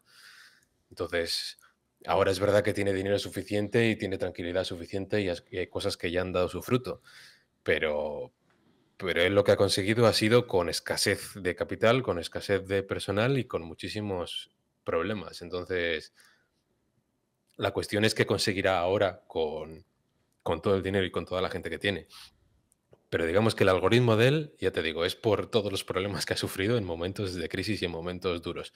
Por ejemplo, el tema de eh, simplificar y optimizar mm, partes de la fabricación eh, es un problema típico de los ingenieros, que él dice, muchos ingenieros se ponen a, optimizar algo que no debería estar ahí. O sea, vamos a hacer esta pieza mejor, vamos a hacer este proceso mejor, igual ni siquiera tiene que estar ahí, igual si te lo cuestionas desde un principio puedes hacer como lo de la pieza de, fundición, que te quitas 100 partes que hay que soldar y hay que juntar y hay que, y hay que fabricar, ¿no? Pues es que igual estás intentando optimizar algo que no debería existir. Y también la automatización. Él al principio intentó automatizarlo todo eh, a, lo bestia y, recuerdo que en 2008 hubo mucho revuelo porque, porque dijeron em, que había muchas cosas que podían hacer mejor los humanos, ¿no? Porque los robots eh, eh, no hacían tanta falta. Y entonces ya se desmorona el sueño de, Tesla de, automatizarlo todo y de ser eficiente. No, simplemente se habían, no habían hecho el algoritmo en orden. Eh, se habían pasado automatizando y resulta que para cosas en las que los humanos son mejores, como para poner eh, las gomas de las, de las puertas de, los coches, pues mm, te cuesta menos y es más rápido que lo haga un ser humano. Y para un robot es algo muy difícil y muy cambiante. Entonces, pues quita robots, eso lo ha hecho muchas veces, el, abrir un agujero en la fábrica e ir marcando con una X las, las máquinas que, no tenían que estar ahí y que lo podía hacer mejor una persona o, más rápido y, las sacaban de la fábrica. Entonces, ante cualquier problema, hace ese algoritmo. Cuestiona, uno, cuestionate los requisitos. Dos, elimina tantas partes como puedas. Tres, simplifica y optimiza. Y luego ya aceleras los ciclos, intentas hacer, en vez de mil partes por semana, intentas hacer 10.000 partes por semana o 100.000 partes por semana, o en vez de hacer esto en 10 segundos, hacerlo en un segundo. Y ves dónde están los límites. Y por último, sí, lo automatizas eh, todo, intentas hacerlo eh, con robots o intentas hacerlo eh, de forma automática. Pero esto ha sido a base de, mm, muchos golpes. Y claro, él, e, esa parte se parece mucho, si, si, reflexionamos un poquito, se parece mucho a lo que es el desarrollo ágil, ¿no? En proyectos, en proyectos digitales, ¿no? Entonces, claro, él, como viene ya de ese background, como sus primeros proyectos fueron todos relacionados con Internet, con lo digital, y en lo digital está claro que se ha impuesto un modelo de mucha iteración rápida hasta conseguir algo que sea mínimamente viable y luego ya cuando has encontrado un funnel de conversión y de generación de negocio, entonces cuando ya lo escalas, etcétera, pero yo creo que viene con, esa, con ese mapa mental de los proyectos que había montado antes y dice, esto lo voy a aplicar a algo tan rígido como es efectivamente la industria de fabricación de cohetes o de, fabricación de vehículos, ¿no? Pero trae todo ese mindset que lo trae de, de, otro sector donde la agilidad es un factor clave. Sí, incluso en el hardware de los ordenadores. O sea, él, ve una fábrica en tres dimensiones como el diseño de, un chip, ¿no? Y de, dónde tienen que ir las cosas más rápido, más despacio y cómo, cómo conseguimos hacer esto más eficiente. De hecho, él lo ve, ya te digo, de forma volumétrica. O sea, él ve una fábrica y dice, vale, aquí hay un volumen, un montón de pequeños cubos. Entonces, ¿qué porcentaje de ese volumen está haciendo trabajo realmente útil y valioso? Con respecto al total del volumen de la fábrica, pues suele ser muy poco. O sea, él lo que ve es, él lo que ve es eh, gente yendo demasiado despacio y ve volumen lleno de aire que no está haciendo cosas útiles. O sea, para él lo ideal de diseño de una fábrica sería una en la que entran las materias primas por un lado y salen los coches por el otro. Y dentro no hay más que un amasijo de robots y de cosas en las que nadie, no puedes ni, ni caminar y puede que estén incluso las luces apagadas, porque no hay nadie ahí dentro y porque está el volumen aprovechado al máximo para hacer lo que haya que hacer, útil y, sacar los coches. Ese es un poco su visión, el faro al, que llega, al que, al que mira. Entonces, él, eh, si hay alguien subido a una silla robótica para meterse dentro del coche y poner el volante y, salir y esperar unos segundos a que llegue el siguiente coche y volver a entrar y tal, él está viendo los segundos en el que esa persona está parada y está viendo todo el volumen a su alrededor que estás sin aprovechar. Entonces, si separas todo ese coche en módulos y, puedes em, tener más personas alrededor y más robots alrededor de cada módulo, pues eso ya ha aumentado mucho la eficiencia en, volumen y en personas. Entonces, ese es un poco el, mindset que él, que él, tiene. Y se rodea, obviamente, de, ingenieros que ya lo han entendido, que han entendido su visión, han entendido su misión, la comparten, comparten ese sentido de urgencia, de trabajo duro y conocen el algoritmo y lo aplican. Sí, sí. Y me interesa mucho que desarrolles más esta idea de, que decías antes de unir a ingenieros, diseñadores, porque yo creo que uno de los problemas grandes que hay siempre en todas las empresas, ¿eh? aunque no sean industriales, es esta separación entre la gente responsable de producto, la gente que está más en negocio. O sea, una cosa que él también tiene muy interesante es esto que dice de que en general considera que todo lo que sea middle management eh, o management en general eh, es algo que no aporta mucho valor, ¿no? Entonces, en general tiende a cargarse mucho capas de burocracia, capas de reporting, etcétera. Incluso es famoso esto que ha dicho en alguna persona, no sé si era en Tesla, ¿no? O en las demás, que decía que, bueno, que cualquier persona de la empresa podía tener interacción directa con él y que al que lo impidiera lo despedía, ¿no? Directamente, ¿no? Eso o, sea, o, sea, que cree muy poco, que quizás, también lo decías tú en, términos volumétricos, también en términos de, equipo, lo que quiere es que la mayor parte de gente está haciendo cosas y no gestionando a otras personas, haciendo reportings, etcétera, ¿no? Claro, en la mayoría de empresas, si tú lo ves desde fuera y dices, vale, ¿cuánto porcentaje de tus empleados realmente está añadiendo valor cada día al producto? Pues igual es un 40%, igual es menos y el resto es burocracia, departamentos, eh, eh, directivos, em, eh, jefes de, productos que lo único que hacen es decir buen trabajo, buen trabajo, o, que, o que simplemente ascienden por decir que no a las cosas y por reducir el presupuesto. Entonces él dice, no, mira, a él no le gusta publicitar las cosas. Él dice que hay que centrarse en el producto y hacer un buen producto. Y si tienes un buen producto, el boca a boca hará el resto, ¿no? Entonces, ¿cuál es su ideal? Que el 100% de los empleados de la empresa sean ingenieros aportando valor al producto cada día. que lleguen allí por la mañana y vean todas las pantallas, vean dónde están los cuellos de botella y los problemas y que vayan allí a, resolverlos. Sí, efectivamente. Y, y bueno, pues entonces la, conexión, eh, porque además esto creo que cuando llega a Twitter también hace lo mismo, ¿no? Creo que monta una sala de operaciones allí y junta muchísima gente. O sea, él no es nada partidario del teletrabajo, también es otra característica suya, ¿no? Cree mucho precisamente en, la interacción directa, en el brainstorming, en, en, esa energía que se crea cuando hay un grupo de gente reunida en una sala hablando e intercambiando ideas. Por eso ha sido muy, muy contrario y le perjudicó mucho, ¿no? Le cabreó mucho las leyes en California de, contra la pandemia y todo esto, ¿no? Que había de, aislamiento de, gente. Claro, el momento COVID de primero tienes que cerrar las fábricas y segundo tienes que permitir teletrabajar y tal, eso va en contra de su filosofía, porque a él le gusta que se resuelvan los problemas in situ, que estén cerca los diseñadores y los trabajadores y los ingenieros y, los equipos pequeños. Y entonces es muy interesante cómo hace esa estructura organizativa que decíamos antes, ¿no? que cuando comentabas que los ingenieros trabajen muy cerca de los diseñadores y que, que sea, son como squads, ¿no? Squads de trabajo donde, donde están todas las partes participando. Y no la famosa cascada esta donde tienes a una gente que diseña, que lo pasa a lo siguiente, y hay una, hay una cascada ahí que inevitablemente ralentiza los procesos, genera mucha más burocracia y luego para generar eh, loops de realimentación, ¿no? De mejora, eh, es todo como mucho más lento.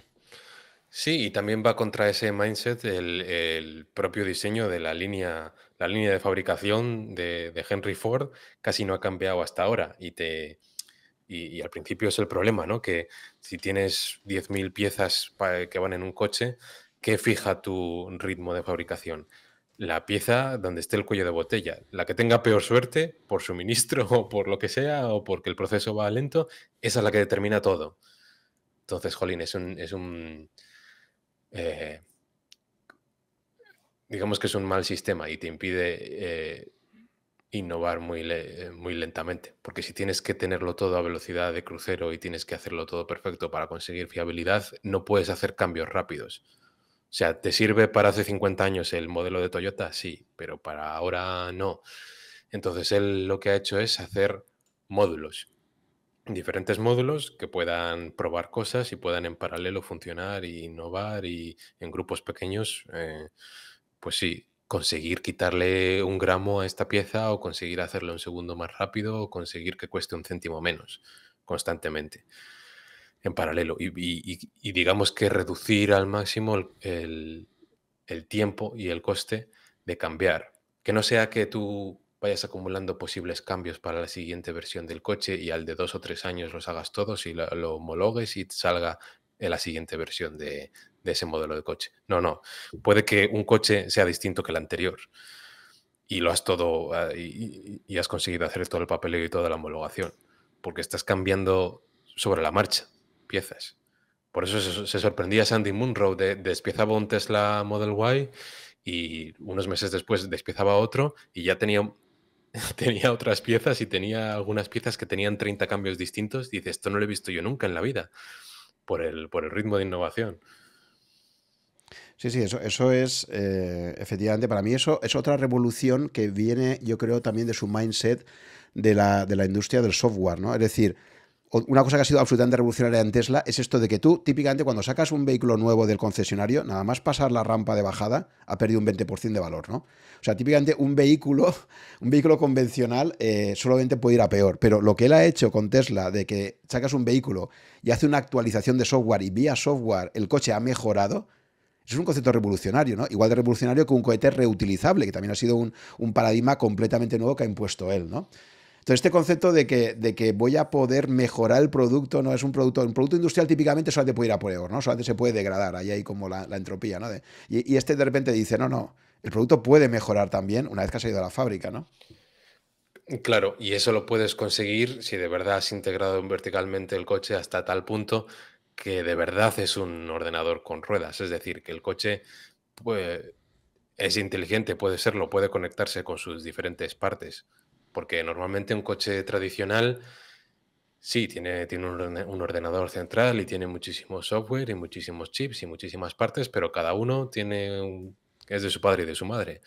Son de mil proveedores distintos con su programación distinta y, no se comunican entre ellos. Entonces, cambiar eso es muy difícil, tiene una inercia eh, tremenda. Yo tengo amigos conocidos que se dedican a eso, a, programar una parte de no sé qué software o hacer los drivers de este chip que va en no sé qué sitio de, del coche.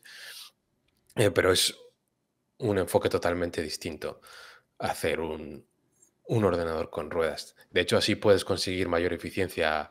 Eh, donde más se ha visto es en el tema de la refrigeración, por ejemplo el sistema de refrigeración que tenían los Tesla solo lo puedes conseguir si todos los equipos están juntos.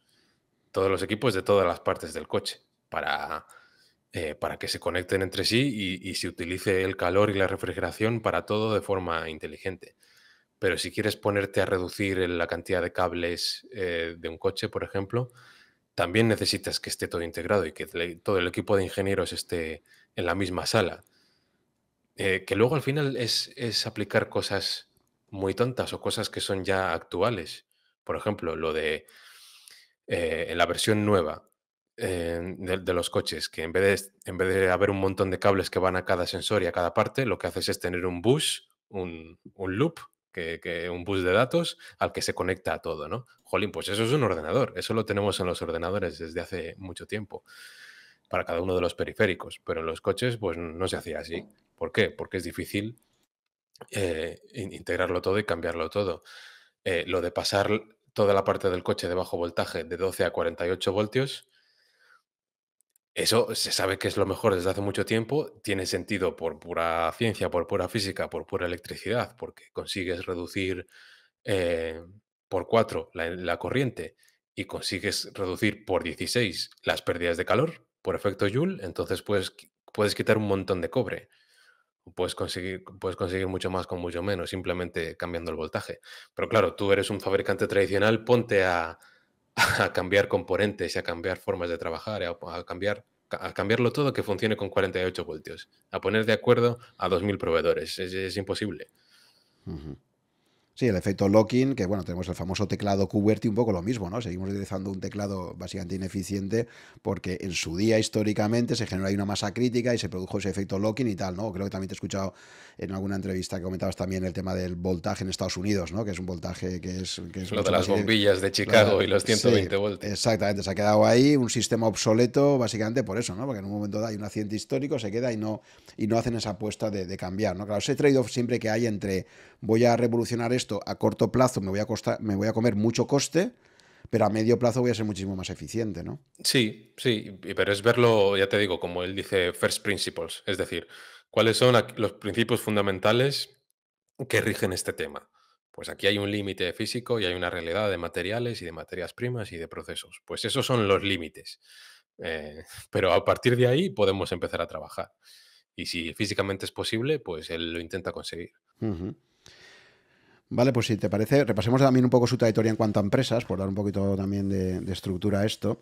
Eh, a mí una cosa que me ha llamado la atención, claro, yo, yo veía a Elon antes de leer el libro como un kamikaze que básicamente todo el dinero que ha ganado en una empresa lo vuelve a reinvertir entero, pero no está en kamikaze, ¿no? Cuando te ya, ya te da las cifras de inversión y tal, te das cuenta que también hay una parte que deja él un poco para, para su disfrute personal, ¿no? Cuando vende su primera empresa se compra el famoso McLaren este, que le costó un millón de dólares. Eh, y, luego, cuando va vendiendo compañías, cuando ya luego venden PayPal también, pues siempre la, parte que reinvierte no, no, es todo, ¿no? O sea, es que no, no, es tan kamikaze como parece, ¿no? O sea, siempre se deja una parte un poco también para, para su disfrute personal, ¿no? Pero sí que es básicamente una persona que ha hecho unas apuestas enormes, ¿no? Al, principio sí que disfrutaba más de, los lujos eh, y, luego no. Em, bueno, cuando consigue una buena cantidad de dinero con lo de PayPal, él eh, dice, vale, ¿en, qué lo voy a invertir esto, no? Y por una crisis existencial que tuvo, pues dijo, vale, lo importante aquí eh, sobre el futuro de la civilización es conseguir ser una especie multiplanetaria y conseguir hacer eh, que el sistema energético sea sostenible y todo el tema de las baterías, los coches eléctricos, y los paneles solares y luego su preocupación por la inteligencia artificial. ¿no? Es un poco su, en eso se basan sus, todas sus empresas. Y entonces él invierte en eso, haciendo SpaceX y, en Tesla y en el resto de, empresas, pensando que la probabilidad de éxito es muy pequeña, pero que merece la pena, porque es que sin, sin eso eh, podemos desaparecer.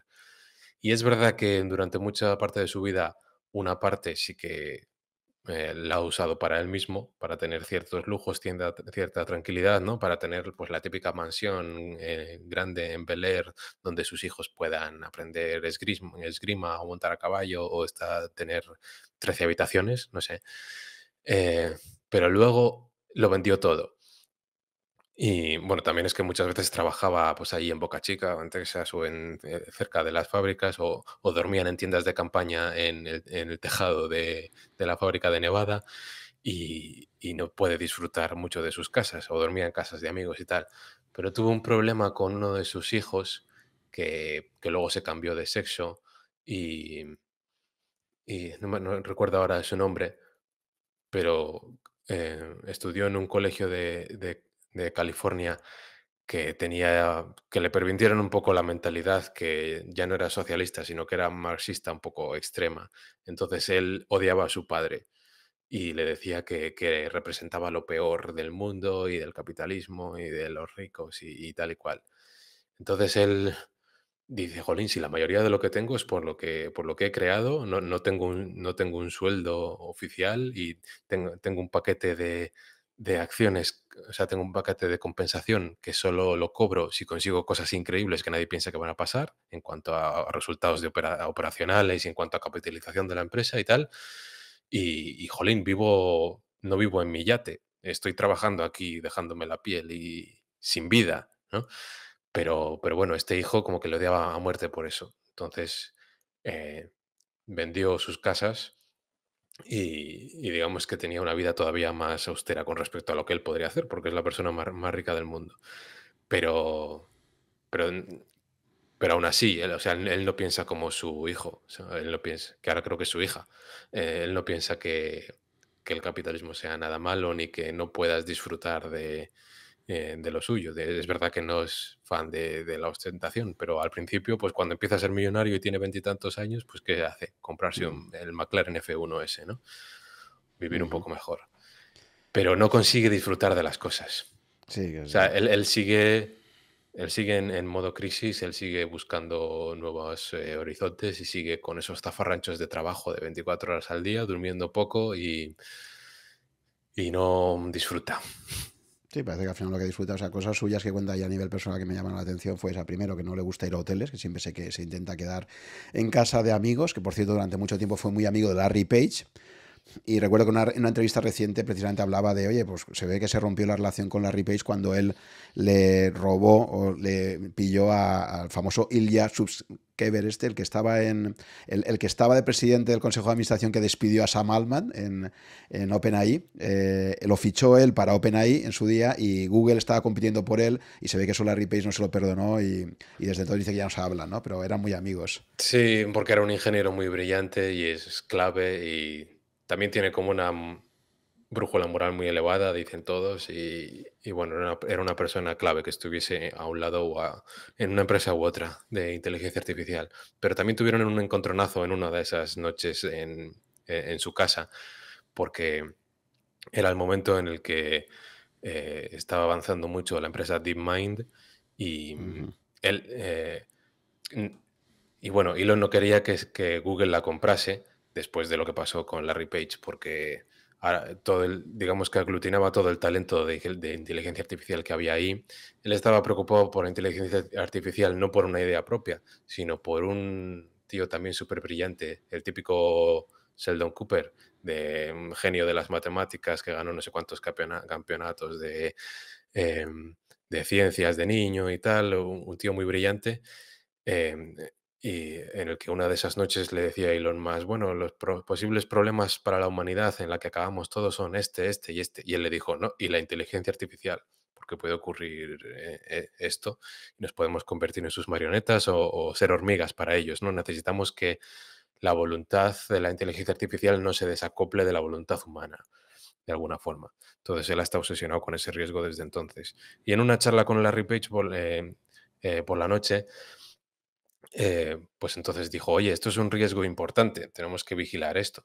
Y Larry Page, Larry Page decía, no, bueno, pero eh, Tú lo que pasa es que tienes un sesgo porque como eres humano, pues tienes preferencia por la raza humana, pero si aparece una conciencia distinta, ¿por qué va a ser menos esa conciencia, no? ¿O por qué no va a ser esa la evolución natural? Pues aparece una inteligencia artificial que acaba con todos nosotros y esa es la evolución natural, ¿no? No me parece nada. Y, el, y, y Elon Musk decía, Jolín, pero a mí me gusta la humanidad, tío. O sea, ¿qué me estás contando? O sea, tendremos Que, defendernos. Y entonces Larry Page dijo, no, eso es que eres un especista, porque solo te interesa la humanidad por encima de otras conciencias. Jolín, pues sí, pues sí, habrá que, habrá que defenderse de este peligro. Sí, sí, sí. Y lo mismo dice también pues, de muchos medioambientalistas. Que dicen, no, si el planeta Tierra ya se encargará de que si el ser humano es una especie invasora y sobrepasa ciertos umbrales, pues probablemente acabará desapareciendo y tal, ¿no? Y, y él incluso creo que en una entrevista con, con eh, el otro gran, o sea, él seguramente concede entrevistas, o sea, podcast largos a Alex Friedman y a, y a este otro que está también ahí en Austin. Joe Rogan.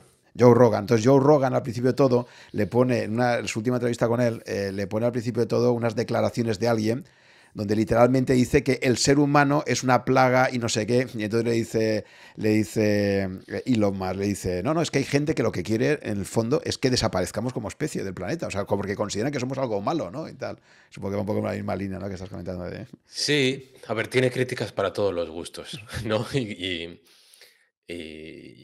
es, muy curioso. Por ejemplo, hay uno de, uno de los fundadores de PayPal también es bastante libertario y a veces a Elon le ves como toques libertarios o antiestado eh, muy curiosos. Pero luego el tema de la energía verde, sostenible y tal, también se eh, parece que se conecta con, con, la izquierda, ¿no? Con todas las regulaciones que impone el Estado y entonces le, le critican mucho eh, por eso.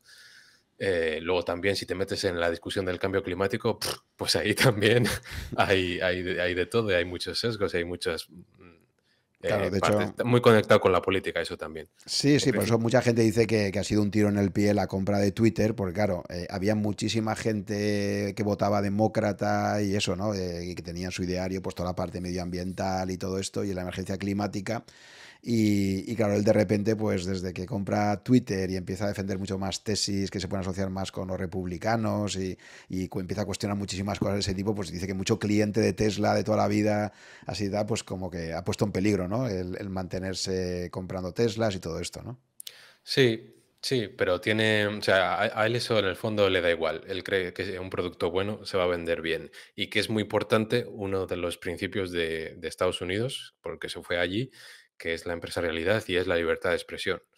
O sea, a él el tema de la historia le gusta mucho, la estrategia militar le gusta mucho, pero el tema de los padres fundadores y de las enmiendas y de em, la constitución americana también. Entonces a él le fastidia que le repriman eso. O sea, él dice, eh, yo voy a decir lo que quiera decir, porque, por libertad de expresión. Y si eso significa perder dinero, pues que así sea, ¿no? O perder anunciantes. ¿Qué pasa? ¿Me vas a chantajear a mí para no decir cosas porque eres un anunciante de Twitter? Encima, ¿vas a chantajear eh, mm, por dinero al hombre más rico del mundo? Eh, pero bueno, sí, o sea, el negocio de los anunciantes de, de, X y el negocio de Tesla es una cosa, pero él lo que quiera decir está en su derecho de poder decir lo que quiera. Es verdad que en cuanto a cosas que tengan que ver con la empresa y todos los líos que ha tenido con la SEC, pues tiene limitaciones, ¿no? Pero el tema fundamental de la libertad de expresión él lo tiene muy, eh, muy claro. También compró eh, Twitter, ahora X, por eso, porque se estaba desvirtuando y él creía que era importante para el futuro de la humanidad. Siempre es como muy grandilocuente por, por esa, esa idea de, de la guía del autoestopista galáctico y de los superhéroes y de los videojuegos. De, em, parece muy eh, heroico el salvar a la humanidad, pero de verdad lo, tiene metido en la cabeza. Cree que es un peligro que avance el virus que estaba eh, creando Twitter y, simplemente crear una plataforma en la que todo el mundo pudiese decir las cosas sin censura hasta donde la ley lo permita. Sí, de hecho los videojuegos, otra cosa que ves en el libro constante es que su principal pasatiempo y su principal forma de desahogo son los videojuegos, ¿no? De hecho, cuando un, episodio traumático que tiene él es cuando nace, cuando nace su primer hijo, eh, a muy poco tiempo muere su, primer hijo y, entonces fue un episodio muy dramático, ¿no? Creo que fue de muerte súbita, ¿no? De esto cuando... Y, mm. y entonces él estuvo unos días donde básicamente pues estaba eso con sus videojuegos y se tiraba ahí un montón de horas y siempre que ha estado, te cuenta en el libro, como cuando situaciones de máximo estrés, su forma de desconexión es ponerse a jugar horas y horas, pero que además él ya duerme poco, pues pero a lo mejor en vez de su, sentido del descanso es se va, se va al hotel o a donde duerma, a casa de alguien y se tira ahí varias horas, ¿no? Pero también decía, eh, muy interesante lo que cuenta Isaacson de lo que ha aprendido el de estrategia compitiendo en juegos de estrategia, o sea, él tiene una capacidad también de, de ver cómo negociar las cosas y tal, porque ha hecho muchísimos juegos de estrategia, ¿no? Sí, hay un juego concreto que a él le gusta mucho, que se llama Politopia. Y yo creo que en algún sitio lo, tenía apuntado, digamos, lo que he aprendido de, ese juego. A saber dónde está ahora. Pero me acuerdo, por ejemplo, que, que, en ese juego tú tienes una cantidad de turnos concreta, limitada. Entonces tienes que aprovechar cada turno muy bien. Y él lo aplica a la vida diciendo, vale, yo tengo una cantidad de días en este planeta antes de morirme. También lo dice a veces Warren Buffett, oye, yo digo que no a muchas cosas porque yo tengo una cantidad limitada de horas en este, en este mundo y tengo que aprovecharlas bien. Pues él dice, yo tengo una cantidad de turnos aquí, una cantidad de, días en el mundo y yo no quiero morirme sin que lleguemos a Marte, ¿no? Entonces, por eso le fastidia cuando ve que alguien en un, en un proceso está retrasando las cosas, igual le trata fatal o le despide, pero él está viendo en su conjunto. O es, que estás fastidiando a un montón de personas porque estás ralentizando el producto o porque estás ralentizando la llegada de la energía sostenible o que consigamos llegar a Marte. ¿no? Entonces, en el, gran orden de las cosas, él cree que es lo, eh, cree que es lo correcto. Y muchas veces lo ve como, un juego. Sí. Eh, pasa que ahora no sé dónde. Politopia, sí, yo sabía que había jugado varios, pero de hecho juega muchos distintos y cada uno. Pero bueno, muy interesante esto, ¿no? Por lo que he aprendido allí. Y sí, realmente, eh, si buscamos, o sea, yo, creo que una cosa que a él le caracteriza es que, claro, tú, puedes decir, ese tiene una, una, misión muy grande y es un visionario y tal, pero lo que, lo que le hace único es que es una persona con una visión brutal pero que luego la ejecuta, ¿no? O sea, esa capacidad de ejecución, de ir al detalle, o sea, es lo que lo hace realmente diferenciar. Porque hay mucha gente que, que sigue es muy buena, te va a una conferencia TED y te cuenta mi visión es esta, tal, no sé qué, pero es que este tiene la visión y luego cómo la consigue aterrizar y cómo pelea por implementarla, ¿no? Sí, aunque incumpla los plazos, porque es verdad mm. que, que, él, que él arenga a la gente con plazos imposibles, ¿no? Y, mm. Pero es que sin, es, sin, sin eso no se hace nada. O sea, tú pones para conseguir un proyecto 49 eh, días de plazo. Pues en menos que eso, si pones los 49 días, en menos que eso no se va a conseguir nunca. pero si dices en 25, ah, jolín, pues igual difícil, pero igual lo conseguimos. Bueno, él dice en dos semanas. Es imposible, es imposible. Bueno, pues nos estamos aquí día y noche hasta que lo, hasta que lo consigamos en, dos semanas, ¿no? Y al final igual se consigue en tres semanas, pero se ha conseguido antes que, que de ninguna otra forma. ¿no? Igual que lo que hablábamos de hay que quitar piezas, y, todo lo que puedas y luego seguramente tengas que volver a poner un 10% de las piezas que has quitado, ¿no? Y si no tienes que volver a poner alguna es que no has quitado las suficientes. Pues con los plazos igual, los plazos son brutales, son casi imposibles. Entonces, eh, va despidiendo a directores hasta que alguien lo consigue en el plazo que él dice y, y, eso, en, modo hardcore. Porque dice que si no, pues que la gente se relaja. Y en cuanto ve que te relajas, eh, y que no tienes esa sensación de urgencia, pues ya se, cabrea. Si un, o sea, tú en cualquier empresa te vas, pasas un viernes por la noche por la obra y, no hay nadie, obviamente, ¿no? Pues él va por allí a la construcción del cohete un viernes por la noche y no ve a nadie o ve a dos personas y dice, ¿dónde está la gente? Quiero todo el mundo aquí, ahora, ¿sabes? Quiero, quiero actividad quiero a gente trabajando. ¿Qué, es esto? O, en un momento en el que hay un problema concreto en un sitio, pues dice, mira, quiero a todos los trabajadores de SpaceX aquí, en Texas, ahora mismo. y, que, que cojan vuelos, que cojan coches, que, que, que, alguien consiga colchones, consiga tiendas de campaña, consiga caravanas, consiga comida, pero quiero todo el mundo aquí para resolver este problema y para trabajar en esto. Sí, sí, y eres el primero que pringa. Hay un episodio también muy, divertido que me, que me impresiona mucho también en Twitter cuando tienen que mover los servidores, ¿no? O sea, los servidores de Twitter estaban en, distribuidos en varios estados y entonces los costes eran elevadísimos. Claro, como él, está, él se da cuenta que ha comprado Twitter a un precio altísimo, compró justo antes de empezar la subida de tipos, él, cierra el precio, creo que fue a principios del 22, ¿no? De, 21 creo que es, ¿no? En el 2021 puede ser. No recuerda ahora. La cuestión es que él, él, mm. había cerrado ya un precio justo antes de que el mercado empezara a caer como consecuencia de empezar a subir los tipos de interés de la Fed y todo esto, ¿no? Entonces, claro, se da cuenta que se ha quedado pillado en un precio mucho más alto de que luego el mercado le podría haber ofrecido. Durante unos meses intenta ver si consigue rebajar el precio hasta que al final hay una decisión judicial y se da cuenta ya, le dicen sus abogados, mira, lo tienes que comprar ya porque si no las condiciones van a ser peores, ¿no? Pero claro, él ya entra con ese, con ese planteamiento de decir aquí o hago una drástica reducción de costes o esto esto es imposible, ¿no? Más al precio que lo he comprado. Claro, compró caro un avión cayendo en picado. Exactamente. Entonces, primero que nada, pues eso, al final elimina el 75% de la plantilla, que también te cuenta con mucho detalle y también es muy entretenido ver ahí los criterios de filtrado de, ingenieros, de software, cómo se lleva siempre a su equipo de confianza para que entren allí, en los magníficos para estar allí trabajando. Oye, durante el fin de semana revisadme el código toda la gente para determinar a cuánta gente hay que reducir y tal. Tremendo, ¿no? Pero, pero un episodio muy divertido es este de, los servidores, ¿no? Entonces, eh, sus responsables de sistema le dicen, bueno, vale, ¿cuánto vais a tardar en...? Porque salía muy caro, ¿no? Creo que eran 100 millones de, dólares que le costaba eh, al mes, no sé si era, o al año, el tener los servidores distribuidos en otros estados y tal. Y dice, no, aquí hay que concentrar esto y, reducir costes, ¿no? Y pregunta a sus responsables de sistemas y le dicen, bueno, pues esto nos llevará seis meses la mudanza. Dice, ¿seis meses? ¿Cómo que seis meses? Yo he estado moviendo servidores antes y tal, ¿no?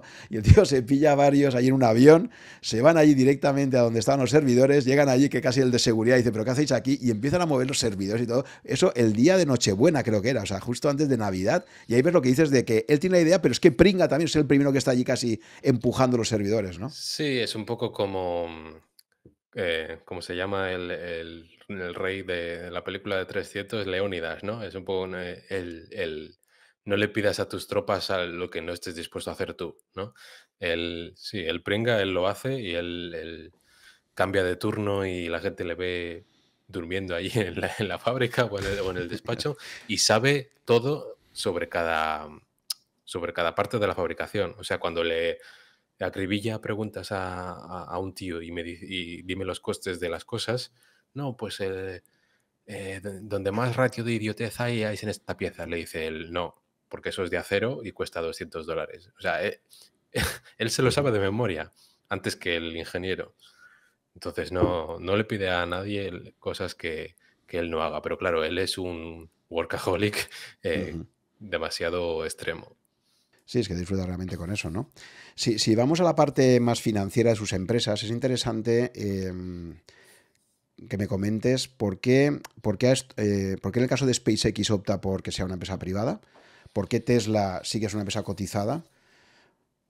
¿Por qué Twitter, bueno, obviamente para comprar Twitter la tiene que sacar fuera, pero me gustaría que me comentaras eso, en cuanto a estructura de capital y de financiación y todo esto, ¿por qué ha optado por fórmulas distintas? ¿Y crees que SpaceX en algún momento futuro va a cotizar? Un poco, cuéntame más la parte financiera de sus proyectos. A ver, si lo piensas, no encaja mucho con su forma de ser y con su cultura el tema de cada trimestre tener que reportar y tener que hacer una call y tener que responder preguntas de analistas que no tienen ni idea sobre, eh, sobre la empresa y sobre su visión.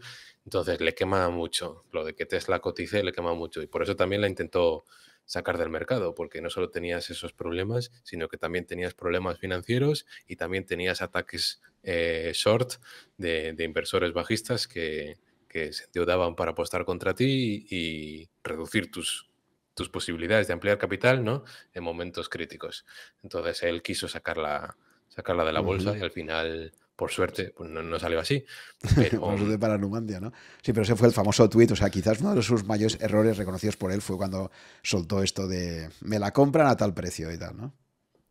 Sí, sí, digamos que, había habido conversaciones y había interés, pero digamos que llevó el interés a, eh, mm, digamos que el interés real que había, pues el comprador no quería que se supiera o que lo llevase a, público, ¿no? Oye, no, no, digas que esto ya está hecho porque lo hemos hablado y hay interés, pero, pero no lo hemos cerrado el trato. Y él dice, mira, o, hay interés o no hay interés, o sea, o compras o, no quiero saber nada más de ti. Pero SpaceX es tan clave, tan importante para él, que no creo que lo saque a cotizar. Aunque hay muchos fans y mucha gente que quiere que, salga a cotizar, yo creo que es posible que salga a cotizar cada proyecto que, haya salido bien y que sea rentable. En cuanto Starlink, por ejemplo, sea una constelación que esté a velocidad de crucero generando dinero de forma estable, como una infraestructura de Internet, pues puede que la saque a bolsa, ¿no? Para financiar, para financiar la siguiente fase. Mm, pero, pero no, no creo que SpaceX en, en su totalidad cotice. Lo curioso es que la mejor forma de aprovecharte de SpaceX o de invertir indirectamente en SpaceX, yo creo que es Tesla, porque hay muchos ingenieros que trabajan indistintamente para ambas empresas. Eh, no sé, el, jefe de ciencia de materiales de, es de, SpaceX y de Tesla, es un fuera de serie. Y, lo mismo te hace la aleación de acero para la Starship que la aleación que necesita la pieza de fundición, los Tesla. Entonces, del talento te estás aprovechando. Y esa fertilización cruzada es interesantísima, ¿no? Como, cómo pueden replicar ideas que, que, tienen sentido en la industria espacial y decir, oye, esto también se podría. Igual que él aplicó muchas ideas que traía de la industria del software, ¿no? Y del negocio digital y lo llevó a sectores tan distintos como el de la fabricación de automóviles, ¿no? O de cohetes. Bueno, sí, y hay muchas ideas cruzadas que, que sí, que han intentado ver cómo cómo los fabricantes de juguetes o cómo los fabricantes de coches consiguen hacer esos procesos más eh, fácilmente o más eh, barato, porque él te, te, llega una cosa, un problema y te dice, quiero que consigas hacer esto por 10 veces menos dinero. Y si le dices que es imposible, te despide. Y si le dices, bueno, vamos a verlo, pues... Eh, pero eso, consigue hacer 10 veces más de esto, 100 veces más de esto, o consigue hacerlo por 10 veces menos dinero. aplica los criterios, aplica el algoritmo, hazme una lista de, con el, índice de la idiotez y a ver eh, cómo sacamos un plan para hacer esto. Y sí, hay mucho conocimiento cruzado de, de las industrias, pero hay incluso ingenieros que dicen, yo trabajo para ti si me permites esto si me permites resolver problemas interesantes en, ambas empresas. Y, tú llegas por la mañana, igual hay un cuello de botella en Tesla o igual hay una cosa que resolver interesante en SpaceX y, vas cambiando de una empresa a otra. Sobre todo los ingenieros más brillantes quieren trabajar para las dos. Aunque si él pide presencialidad, eh, SpaceX está en Los Ángeles, eh, Tesla cada vez más va a estar en Texas, yo creo, ¿no? En Texas, porque él está bastante cabreado con California, considera que la trata muy mal al Estado y no le gusta nada las políticas que tiene y eso va a generar, a nivel físico... Sí, de hecho, de hecho la fábrica de Texas en California igual todavía no existiría por, por el tema de los permisos y por lo lento que es. En Texas todo puede ser más, más rápido, hay más libertad y la innovación puede fluir más rápido.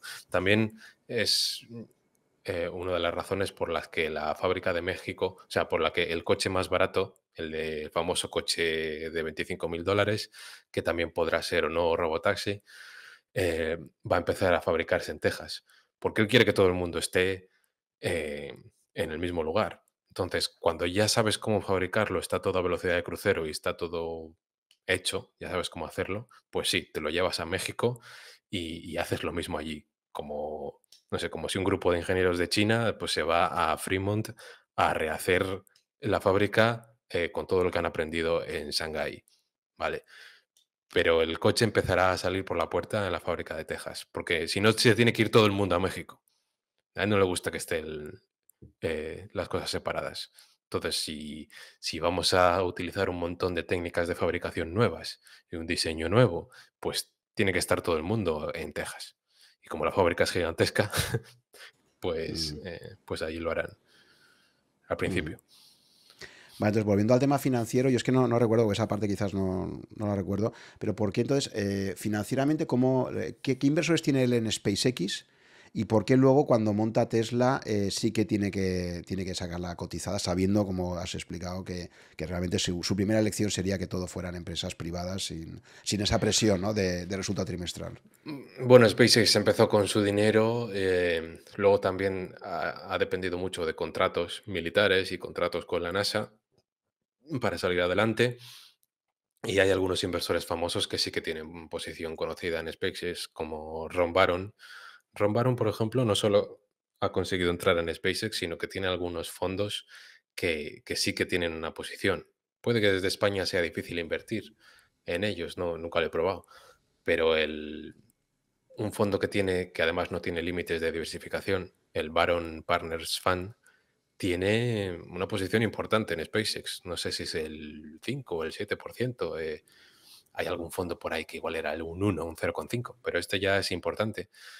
Entonces, eh, con esos inversores que le conocen y que muchas veces también son inversores de Tesla, que conocen su visión y que también han participado en la, compra de, eh, de, Twitter, pues va sacando SpaceX adelante, mm, intentando minimizar las rondas de financiación. Al principio eran más frecuentes y, él intenta que vaya siendo cada vez más rentable para que se autofinancie.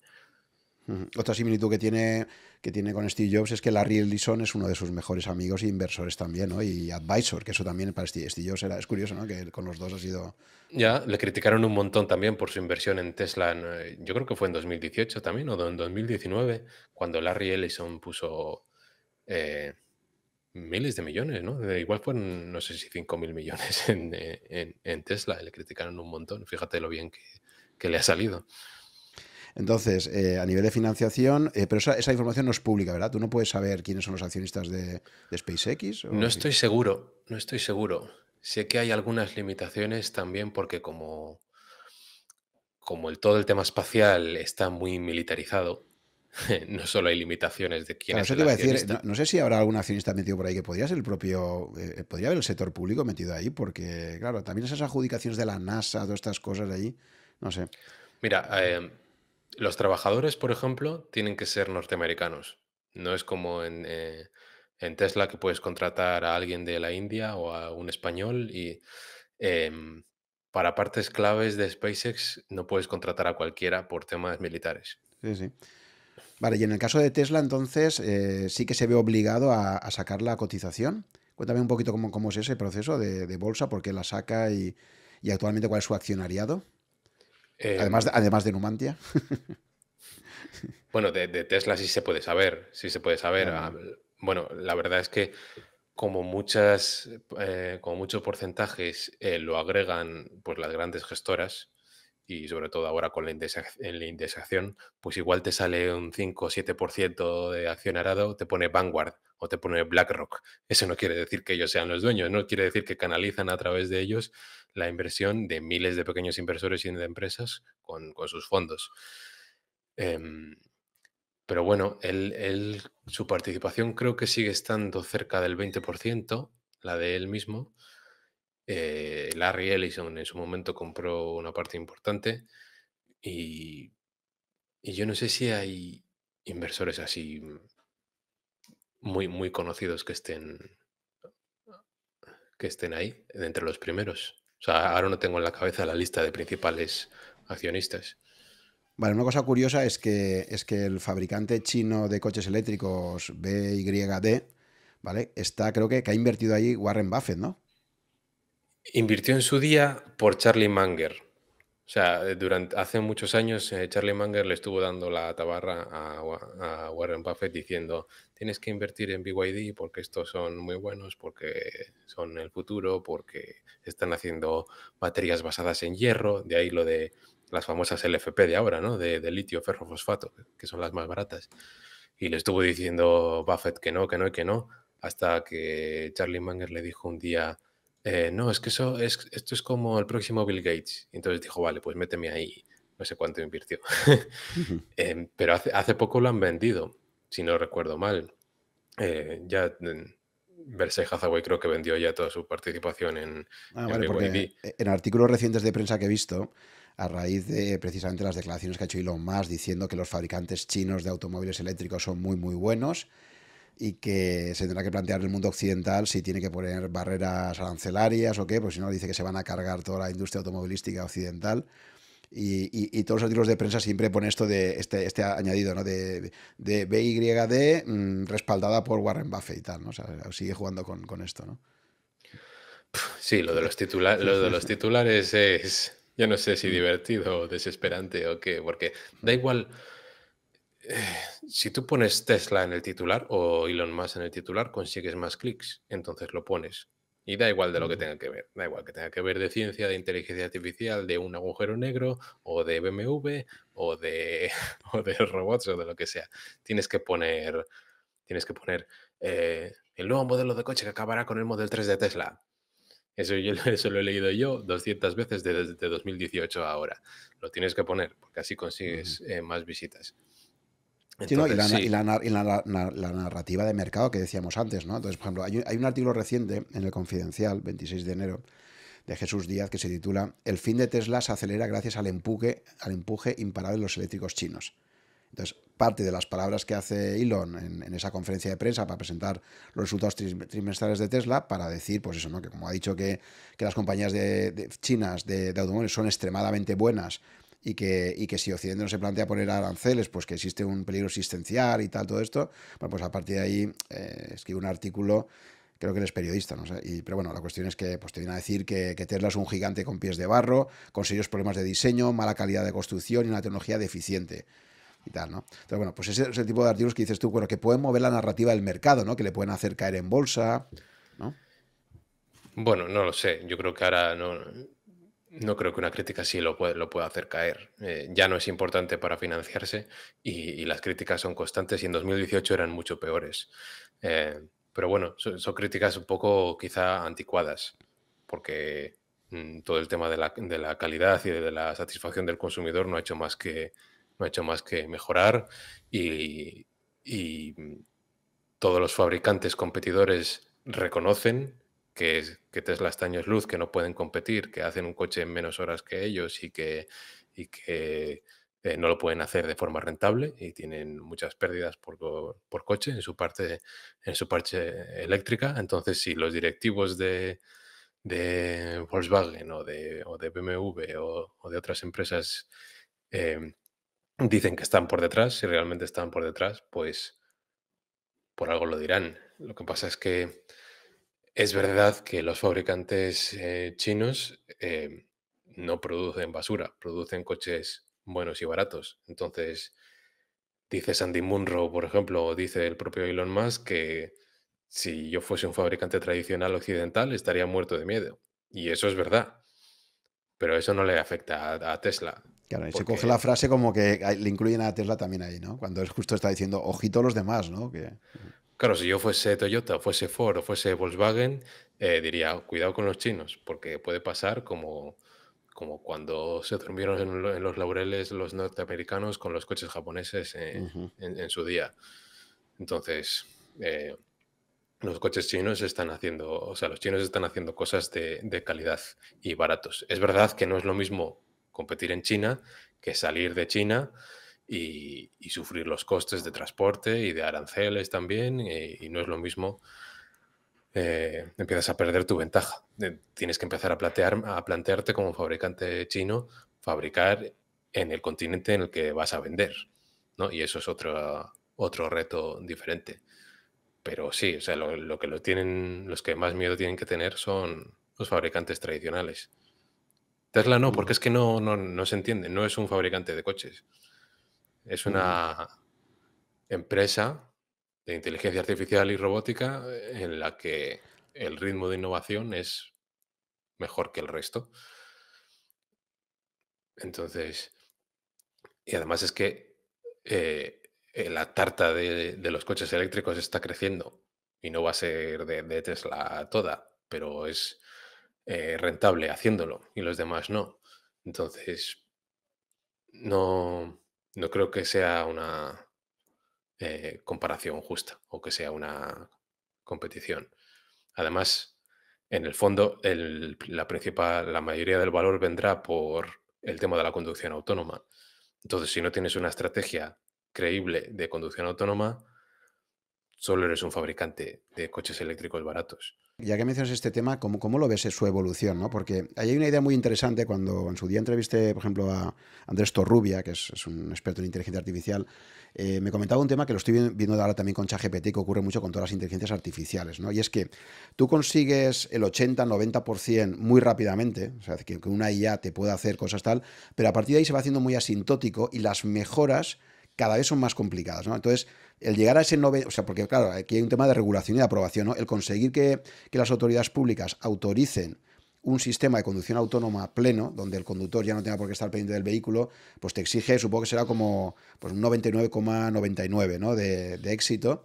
Y, esa, y conseguir eso, pues me imagino que es igual difícil que en el mundo de, en el mundo de, la fiabilidad, por ejemplo, cuando una página web tiene que estar arriba, pues ese 99,999,59 te cuesta muchísimo más dinero que tener un simple 99, ¿no? Con un decimal quizás.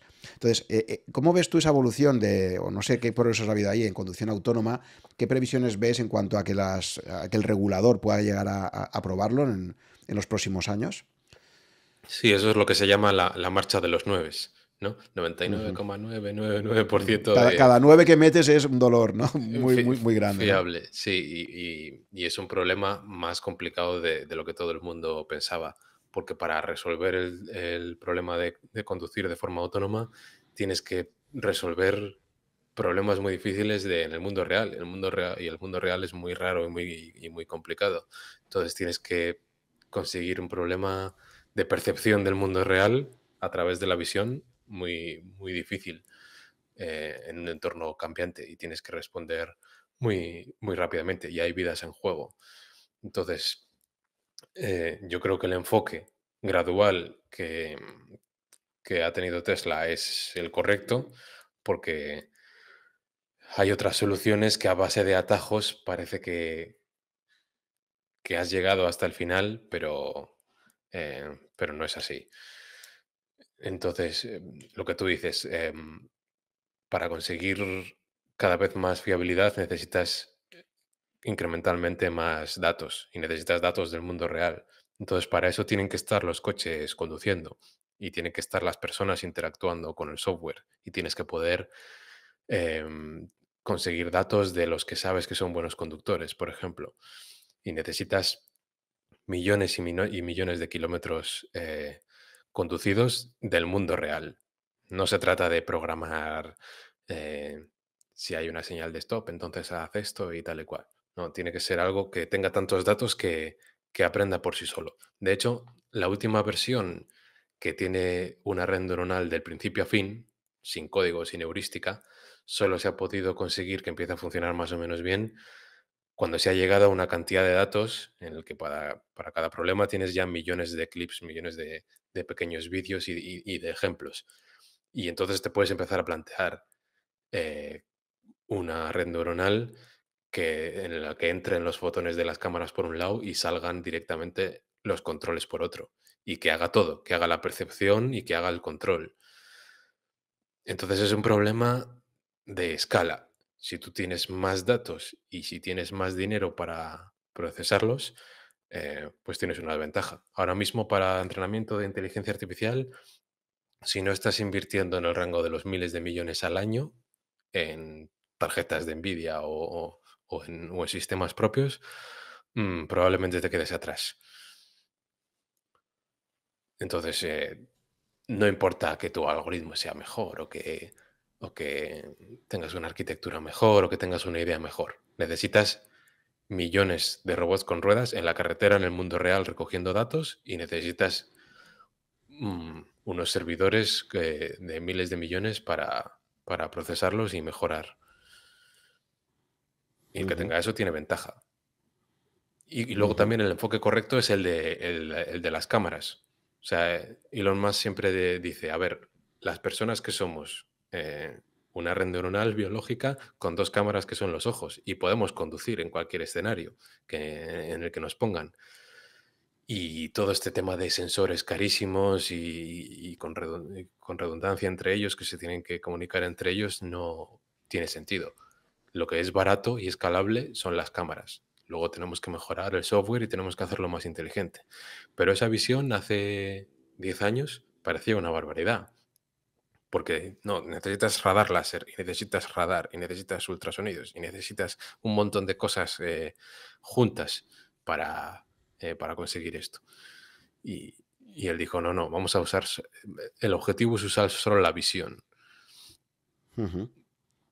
Y lo que, hay que mejorar es la inteligencia artificial. Y el problema del mundo real es mucho más difícil de, lo que parecía, pero, pero tienen ventaja. ¿Y el criterio de aprobación del regulador cuál crees que va a ser? Porque claro, el, humano también tiene fallos. O sea, es que claro, no podemos pedir un 100%, porque es que el humano no, no conduce con un 100%. De hecho, habría que ver ahora mismo si comparamos la conducción humana con la conducción autónoma, eh, si estamos ya en un rango de errores parecido, ¿no? Entonces... Claro, él cuando, cuando había los primeros accidentes decía, Jolín, eh, la gente está viendo el accidente, la persona muerta, pero no está viendo las personas eh, vivas o los no accidentes, ¿no? No está viendo la, eh, los, accidentes que ha evitado el autopilot, pues no se están viendo, ¿no? Pero la noticia se, se centra en esto. Entonces, lo importante es lo que tú dices. Esto es más seguro que un humano. ¿Y qué necesito demostrarle al regulador? Que es dos veces tres veces, diez veces menos accidentes por kilómetro que, la media. ¿Y con cuánto? O sea, em, e, es, lo importante, eh, demostrarle al regulador que tienes un millón de kilómetros conducidos en, la versión de conducción autónoma total, en la que el número de accidentes es diez veces menor por kilómetro que, el humano medio. Entonces, ¿me apruebas o, no me apruebas? Entonces, eso será primero en donde lo están usando en Estados Unidos. Claro, em, me acuerdo también lo que comentaba él, no, sé si lo dice en el libro, pero sí en alguna entrevista con Les Freeman, o sea, has escuchado esto de la regulación que hay en cohetes también es que, bueno, para morirse de risa, ¿no? O sea, cuando cae un cohete al mar, tienes que calcular la probabilidad de que caiga sobre una ballena o sobre, sobre algunos animales que tal habían hecho ahí, o las pruebas que decía que le tenían que poner unos cascos ahí, creo que era un castor o algo así, para ver si cuando había una explosión del cohete eh, les, les, alteraba y tal, ¿no? Y bueno, contaba cosas súper divertidas de lo que la regulación les obliga, ¿no? Con todo el tema lanzamiento de cohetes y tal. Y el tema meteorológico, de que si detectamos en las capas altas un poco de viento y que podría caer el cohete en no sé dónde, entonces ya no te lo permitimos, pero, pero él eh, dio la orden de lanzar igualmente porque lo veía absurdo y, luego dijeron, no, no, es que eh, recibí el email de, que no podíamos enviar cuando ya lo habíamos lanzado y se hicieron un poco los locos, pero, pero sí, se dio cuenta de que la industria eh, tenía mucha, mucha grasa, ¿no? Por cómo funcionan los contratos. Porque da igual que lo hagas por menos precio, que lo hagas más rápido. Tú gasta, necesitamos esto y, te aseguramos un margen. Así que te gastas 10 millones y, tienes un margen del 10%, del 20%. Entonces eso no te incentiva a hacer más con menos, aumentar la productividad o hacerlo más rápido. Entonces eh, te conviertes en alguien complaciente, alguien lento y alguien burocrático. Te conviertes en Boeing, para el tema aeroespacial. Y él, y él quiere mantener la, la, tensión alta y el ritmo de innovación para no convertirse en Boeing. Una derivada de, todo el vehículo eléctrico también es cómo está revolucionando el modelo de negocio. ¿no? En la industria tradicional del motor de combustión, al final el negocio está sobre todo en el mantenimiento. ¿no? Tienes, por un lado tienes toda una industria de distribuidores que tiene su propio negocio y el distribuidor vive fundamentalmente de, la reparación. O sea, es como las impresoras, ¿no? que al final eh, el modelo de negocio no está en comprar la impresora, sino en, los cartuchos de tinta que tienes. ¿no? Es un modelo de, consumibles. ¿no? Y es verdad que para muchísimos concesionarios, cuando te venden un vehículo de motor no te están, no te están vendiendo con margen, sino que básicamente lo que quieres captar un cliente que luego lo van a, le van a ir descremando el valor con, los mantenimientos, ¿no? Sí, además es que eh, eso se lo explicó a él un inversor eh, de los mejores de la industria, que era un, tío muy inteligente, tuvo una cena con él y le dije, te, voy a explicar por qué Tesla eh, no va a funcionar, porque va a, va a quebrar. Y le dijo a Elon, bueno, pues, pues, cuéntame, a ver, a ver por qué, pues, eh, ¿por qué no va a funcionar y por qué voy a quebrar? Y le dijo justamente eso. Dice, es que la industria de automóviles no gana dinero vendiendo coches. Es, una, es un modelo de, cuchilla de afeitar, ¿no? Como lo que has explicado. Se, se gana después en el, incluso en la financiación también. Se gana con la financiación, se gana con la postventa, se gana con las reparaciones, con las piezas, con todo esto. Pero no fabricando el coche eh, y vendiéndolo. Entonces, tú necesitas que haya una flota de coches ya vendidos que te generan ese, esa postventa em, que exista ya. Necesitas que haya una flota para poder ordeñarla. Entonces, cualquier empresa nueva de automóviles que, se, que aparezca, como no tiene esa flota, está en desventaja. No es solo que no tenga el know-how, no tenga la capacidad, no tenga las fábricas con utilización alta, es que tienes ese problema ya de, entrada. Por eso no, han aparecido miles de startups de coches y han tenido éxito. En 100 años eh, todas han quebrado. Entonces, eh, tienes que hacer que tu producto sea muchísimo mejor para, para vencer esa barrera. Y encima hacerlo en modo eléctrico, que, que es todavía más difícil llegar al punto en el que eres rentable y conseguir cientos de miles o millones de, unidades al año es dificilísimo.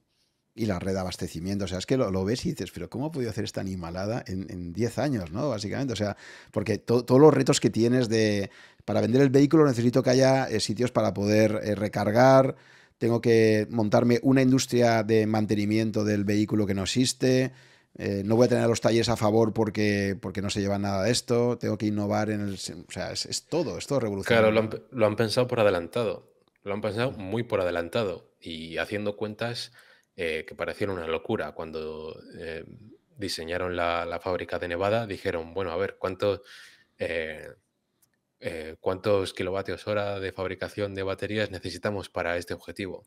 Pues la cuenta sale que es más que lo que produce ahora todo el planeta. Y, otro diría, pues, pues bueno, pues eh, lo, que hace el resto de la gente es razonar por analogía. Así es como se ha hecho siempre, así es como lo hacen los demás. Esto ocurrió en los años 70, esto ocurrió en los 80, y, pero ellos no razonan por analogía, ellos razonan con los principios fundamentales, ¿no? ¿Cuánto hace falta? Entonces, ¿cuánta materia prima hace falta y cuánto tamaño de fábrica hace falta?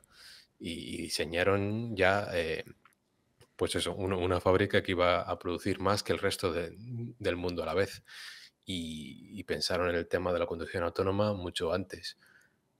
Em, y, piensan a lo grande y, pues eso, antes que el resto. Y piensan en lo que hace falta para producirlo con 10 veces menos coste o para solucionar los problemas eh, de formas diferentes. Y el resto sigue intentando hacer, eh, acercarse al modelo de Toyota.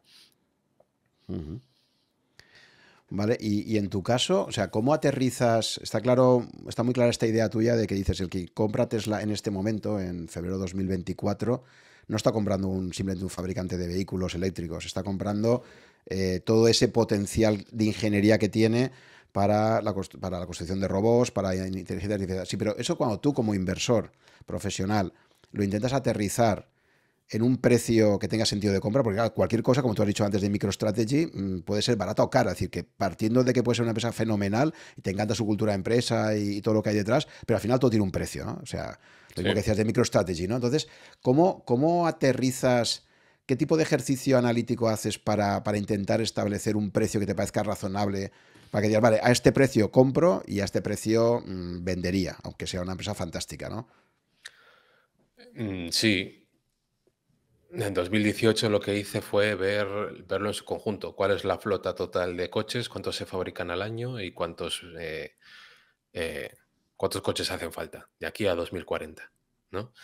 ¿Y cuáles son las realidades eh, físicas que hacen que sea posible que un eléctrico vaya a ser comparativamente mejor o más barato que, que un coche térmico? Entonces veías ahí la evolución de la caída de costes de las baterías y de la caída de, eh, costes de, los coches. Y en especial para Tesla, que tienen esa cultura, ya te digo, de conseguir un gramo menos, un céntimo menos cada día, ¿no? Entonces ves que lo que les cuesta cada coche es, es cada vez menos.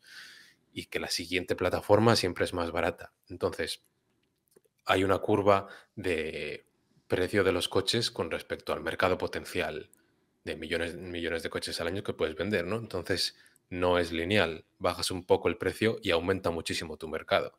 No, no es lo mismo el mercado para un coche de lujo de 100.000 euros que para cuando bajas a los 30.000, a los 25.000 euros se dispara la cantidad de millones de unidades al año que puedes eh, vender. Entonces, ellos han ido bajando por esa curva.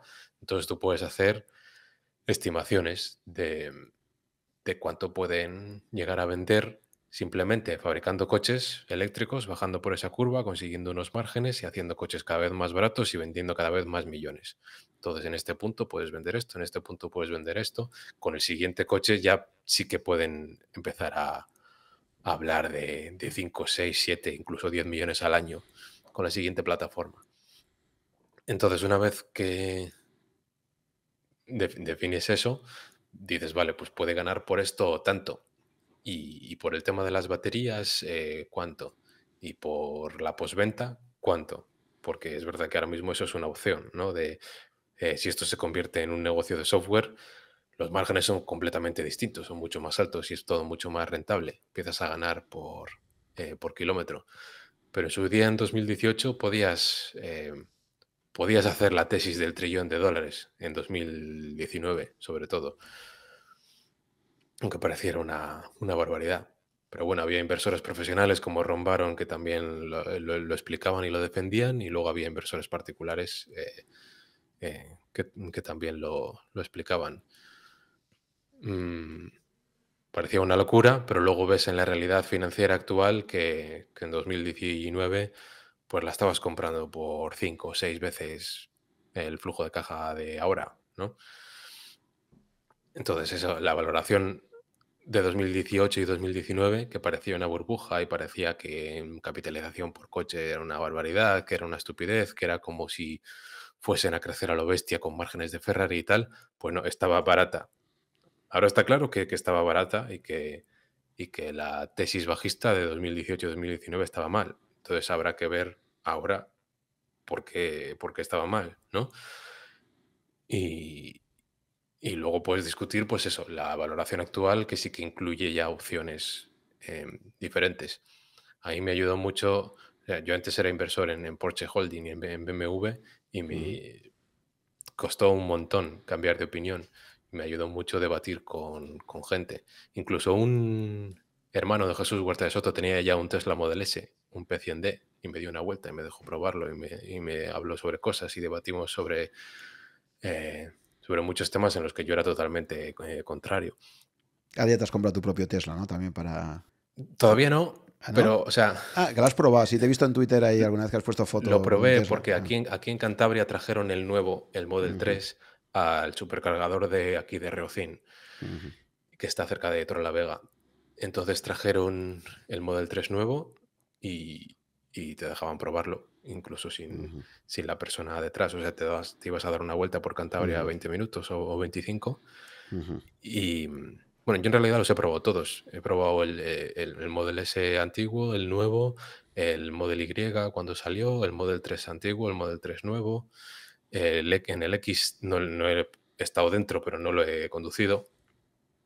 Y mm, de hecho, en, cuando, cuando salió el Model 3 eh, yo estuve allí en la tienda de Madrid, en el, evento, y hubo un tuit mío que, lo, que le dio me gusta a Elon Musk, y entonces de repente tuvo 600 me gustas, porque saqué una foto yo allí en, en, Madrid.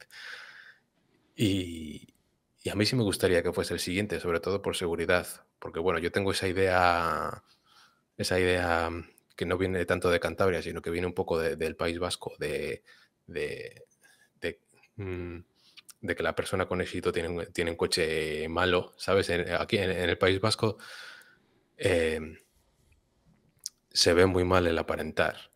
O sea, Porsche no, no vende en Bilbao. Igual te vende en Santander porque hay mucho más postureo, ¿no? Y mucha más tontería en Santander. Pero en Bilbao, quizá por todo el tema de ETA y por otras cosas, el, jefe y el rico es el que va con el jersey sucio y las alpargatas y, y no está bien visto aparentar.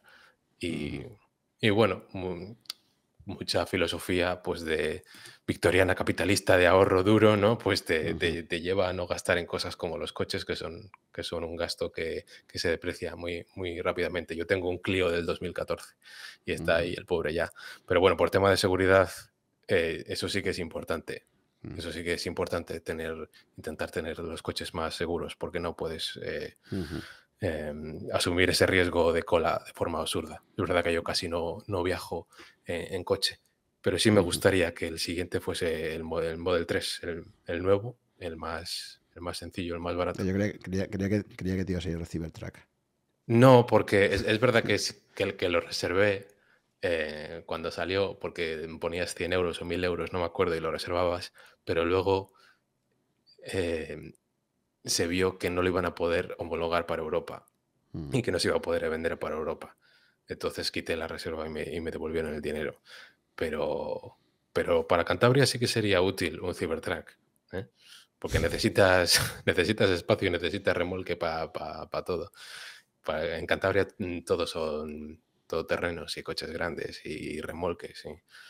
Eh, la tesis de, de, Tesla, como es tan dinámica la empresa, ¿cada cuándo la revisas? Porque, claro, es, o sea, Esto es lo que más tiempo me lleva. O sea, esto es diario. Me veo, me veo varios noticiarios al día, me veo vídeos de las últimas versiones del, eh, eh, software de conducción autónoma al día y es la tesis que más me lleva estar al día. Me veo vídeos, hay, un montón de canales de YouTube, unos que se dedican a las baterías y tecnología de baterías, otros que, que hacen vídeos de conducción autónoma de las diferentes versiones. Y no está lo que hacen ellos, que lo tienes que analizar, y luego también está la competencia china que estábamos diciendo antes, ¿no? ¿Te preocupa, intuitivamente, te preocupa esa competencia china? ¿La sigues de cerca o crees que está trabajando segmentos de mercado distintos de los que ataca Tesla? Aunque tú dices también que Tesla cada vez va más a modelos más económicos, ¿no? Para conseguir más, más mercado. Sí, no, hay veces que, que la gente lo que no quiere es un coche eléctrico, aunque ya tenga sentido eh, económico, sino lo que, lo que quiere es un Tesla, por lo que puede ofrecer. Pero vamos, yo estaría muerto de miedo si fuese un fabricante tradicional. O sea, si fuese accionista de, de, Volkswagen o de mm. Ford, estaría muerto de miedo por los fabricantes chinos. De todas formas, Tesla colabora con, con muchos de ellos, porque o sea, Tesla BYD es proveedor de baterías para Tesla, CATL también, todo lo que innoven y mejoren, pues es que Tesla necesita las, baterías que ellos mismos eh, producen y las de Panasonic y las de BYD y las de todo el mundo. Entonces son, son proveedores unos de otros. Y, y, por acabar ya, porque sé que te tienes que ir, en la cartera de Numantia, eh, que es el fondo que asesora Emérito, tanto el Numantia Patrimonio Global como el Numantia Pensiones, que creo que lanzaste en el 2021, hmm. eh, pues en su momento eh, sé que esa convicción en Bitcoin se tradujo también en una inversión en MicroStrategy, que era una empresa que se caracterizaba por tener una, importante cartera invertida en Bitcoin, ¿no? Y que era quizás el aspecto, uno de los aspectos que más te atraía. Sí, a ver, eso fue un caso curioso porque eh, la regulación es muy restrictiva y no se nos permite eh, invertir. Bueno, está claro que no se nos permite invertir directamente, ¿no? Porque un fondo de inversión no puede tener directamente Bitcoin, como no puede tener lingotes de oro en una cámara acorazada, o cuadros de arte, o joyas, o, armas y balas, ¿no? Guardadas ahí por si acaso. Tienes que tener cosas cotizadas.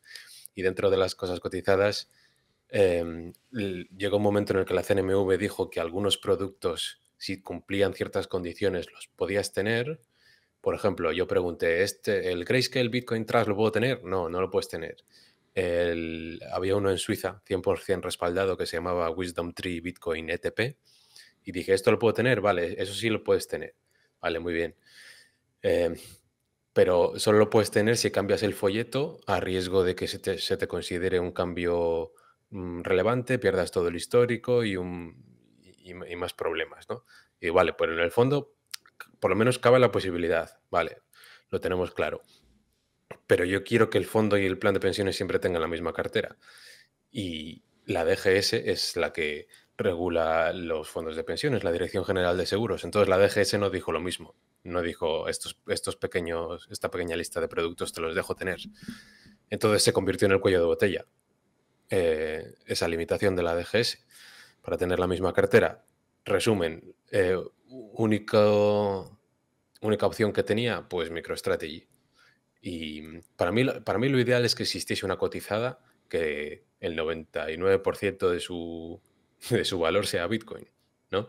Y, que lo mantenga con mínimos costes y que, no tenga deuda, que no tenga otro negocio, ni que no tenga cosas raras, ¿no? Que, que simplemente lo tenga. Pero no, no existe. Lo que más se parecía era MicroStrategy. Pero hay que vigilar su, valoración. A veces tiene sentido, a veces no. Recuerdo a principios de 2021 que subió, se disparó hacia hasta los mil dólares por acción, quizá por esto mismo, porque había mucha gente como yo que no podía exponerse de otra forma y hubo una euforia y no tenía sentido la valoración. No sé si era como comprar Bitcoin a 150 mil dólares cada uno, era, era, era un absurdo. Entonces lo vendimos. ¿Por qué lo vendes? Porque si lo has defendido hace pocos meses y lo has comprado eh, a, la contra y pues porque hay que venderlo, hay que mantener la disciplina de precio, ¿no? No tenía sentido. Luego se desplomó y volvimos a tenerlo eh, durante un tiempo. Pero bueno, hay cosas que no me gustan. No me gusta que tenga la deuda que tiene y que haya un precio de Bitcoin que sea game over, aunque sea en 2025 o en 2026, pero hay un precio que es game over. Jolín, pues no me gusta esto de que, de que hay un escenario que esto sea cero, ¿no? Y, Y bueno, siempre hay que calcular el valor del, del negocio de software también, que tiene una compensación por acciones, yo creo que ridículamente alta con respecto a lo que generan, y eso no me, no me gustaba. Entonces, bueno, siempre hago un cálculo del valor del NAV, del valor que le doy yo a la empresa, y necesito que se acerque a él o que esté por debajo. Y no, no lo estaba, no lo estaba y la, y la vendimos. Es verdad que, que ellos se aprovechan de, de, eso. Cuando la acción está cara y cotiza por encima de lo que deberían, ¿cómo aportas valor o cómo aumentar los Bitcoin por acción? Emitiendo acciones, haciendo ampliaciones de capital. O sea, los gestores son inteligentes para crear valor cuando estás caro, cuando estás barato, en cualquier escenario, y eso me gusta. Pero no dejas de estar caro, ¿no? y no dejas de tener el problema de la deuda y de la compensación en acciones. Entonces, pues no me acababa de convencer. Y otras cosas que hablo yo también a menudo, que estas que ideas de, de multiplicar por 10 o por 20, hay otras cosas eh, aparte de Bitcoin, hay otras acciones y eso son cosas que no aprovechas bien en un fondo de inversión con límites de diversificación. Entonces, aunque, aunque volviésemos a tener un 2 o un 3% en Bitcoin y saliese muy bien y tuviésemos que empezar a vender, no te creas que aportaría mucho a la rentabilidad del fondo a, a largo plazo. Entonces, eh, tienes que tender a ser más conservador con un fondo de inversión. Y luego, si lo quieres como un seguro apocalíptico, pues no tiene sentido hacerlo a través de, de un fondo, ¿no? O de un tercero, ¿no? Pues aprende a, a tenerlo tú y pues eso, como si tienes un, una moneda de oro en, en, el garaje o si tienes un, cuatro armas en un armero en, en tu habitación, ¿no? Es, eh, digamos que la propuesta de valor se, se, pierde en ese escenario. Entonces, eh, no tenía, no tenía mucho sentido. Pero sigues teniendo esa convicción, ¿no? Bueno, ahora, ahora, que volvemos a estar, porque esto también depende mucho del ciclo, ya sabes, ¿no? Que basta que empiece a subir de valor, de repente un montón de gente que todo el mundo dice que va a largo, pero al final depende muchísimo del ciclo, pues ahora otra vez Bitcoin vuelve a estar en boga, además el halving lo tenemos ahí a la vuelta a la esquina, ¿no? Y estamos a veces en el sí. ciclo alcista, ¿no? Al margen del precio, o sea, a mí me costó mucho entenderlo porque tienes que juntar muchas cosas de, de, de ingeniería, de informática, de, te, de, teoría monetaria y de economía y de teoría de juegos incluso, y es difícil de, entender y, y que se te haga clic la cabeza, ¿no? Como cuando descubres la escuela austríaca de economía o el value investing, ¿no? Que, que te hace algo clic y te pones a investigar y a investigar y a investigar y es muy interesante. Uh -huh. Pues con Bitcoin fue, digamos, el tercer clic mental. Y todo fue pues gracias a gente pues, como Manuel Polavieja, como Miguel Vidal, como Pablo Martínez Bernal, como mucha, mucha gente que has entrevistado también. En, pues en 2018, 2019. En, fíjate, en 2015 estuve en una eh, en persona, estuve en una jolín, en el Congreso de, de Economía Austriaca, mm. ahí, ahí, en Madrid, y hubo una charla sobre Bitcoin. Y, y hubo un par de argumentos que, que me, de, de, otra, de otra gente que me, hicieron descartarlo, luego hice el, el máster de economía, eh, digamos que era meses antes de empezar con el máster. Un par de argumentos que me confundieron, no me metí en el tema y ahí, ahí se quedó. Y luego en 2017, 18, 19, sobre todo debatiendo con, con Pablo, ahí ya sí que me metí en la madriguera, como llaman ahora, y lo, lo, entendí. En 2020 hice ya algún, algún podcast sobre el halving anterior, uh -huh. y cuando vi que esta empresa, MicroStrategy, había lo había entendido muy rápidamente, había ganado convicción y, y era una forma de, de, tener algo de exposición, digo, pues yo quiero algo de exposición, ¿no? Mm, pero sí, al margen de, del precio, o sea, yo eh, en ese vídeo mío de 2020, pues creo que estaba 8.000 a 9.000 euros cada Bitcoin. Y alguna vez he dicho, eh, pues de que si se, si se, confirma la tesis de oro digital, pues sería medio millón de euros, ¿no? Por Bitcoin. O, o, si un pedazo de la riqueza mundial acaba ahí, pues sería incluso más. Pero ya te digo que hay, tengo convicción, pero hay otras ideas también con potencial. Y en el fondo no aprovechas cosas de, ¿esto es un por 10 o es cero? ¿Es un por 20 o es cero? Uh -huh. Tengo que centrarme en otras cosas, sí. Muy bien, eh, Emerito, pues muchísimas gracias por este tiempo compartido. Eh, creo que hemos descremado solo una parte del libro. No sé si tenemos que hacer una segunda parte, porque la verdad es que se ha quedado muchísimas cosas de, del libro en el tintero. A ver, yo tenía un montón de cosas subrayadas y de post-its y de, y de, curiosidades, pero, pero bueno, sí, al final. Eh, pues oye, si, no si, a la estar... gente, si a la gente le gusta el episodio, igual hay una segunda parte más adelante, porque yo creo que hemos tocado, pues eso, la superficie, pero fijaos ya la cantidad de derivadas que, que nos han salido. O sea que es un tema apasionante y, Y nada, pues felicitarte de nuevo por, esa rentabilidad que estás obteniendo con tu fondo, por esa, por esa capacidad de análisis que tienes siempre y, de, ser innovador en tus innovación, en tus, en tus inversiones, en tus tesis de inversión.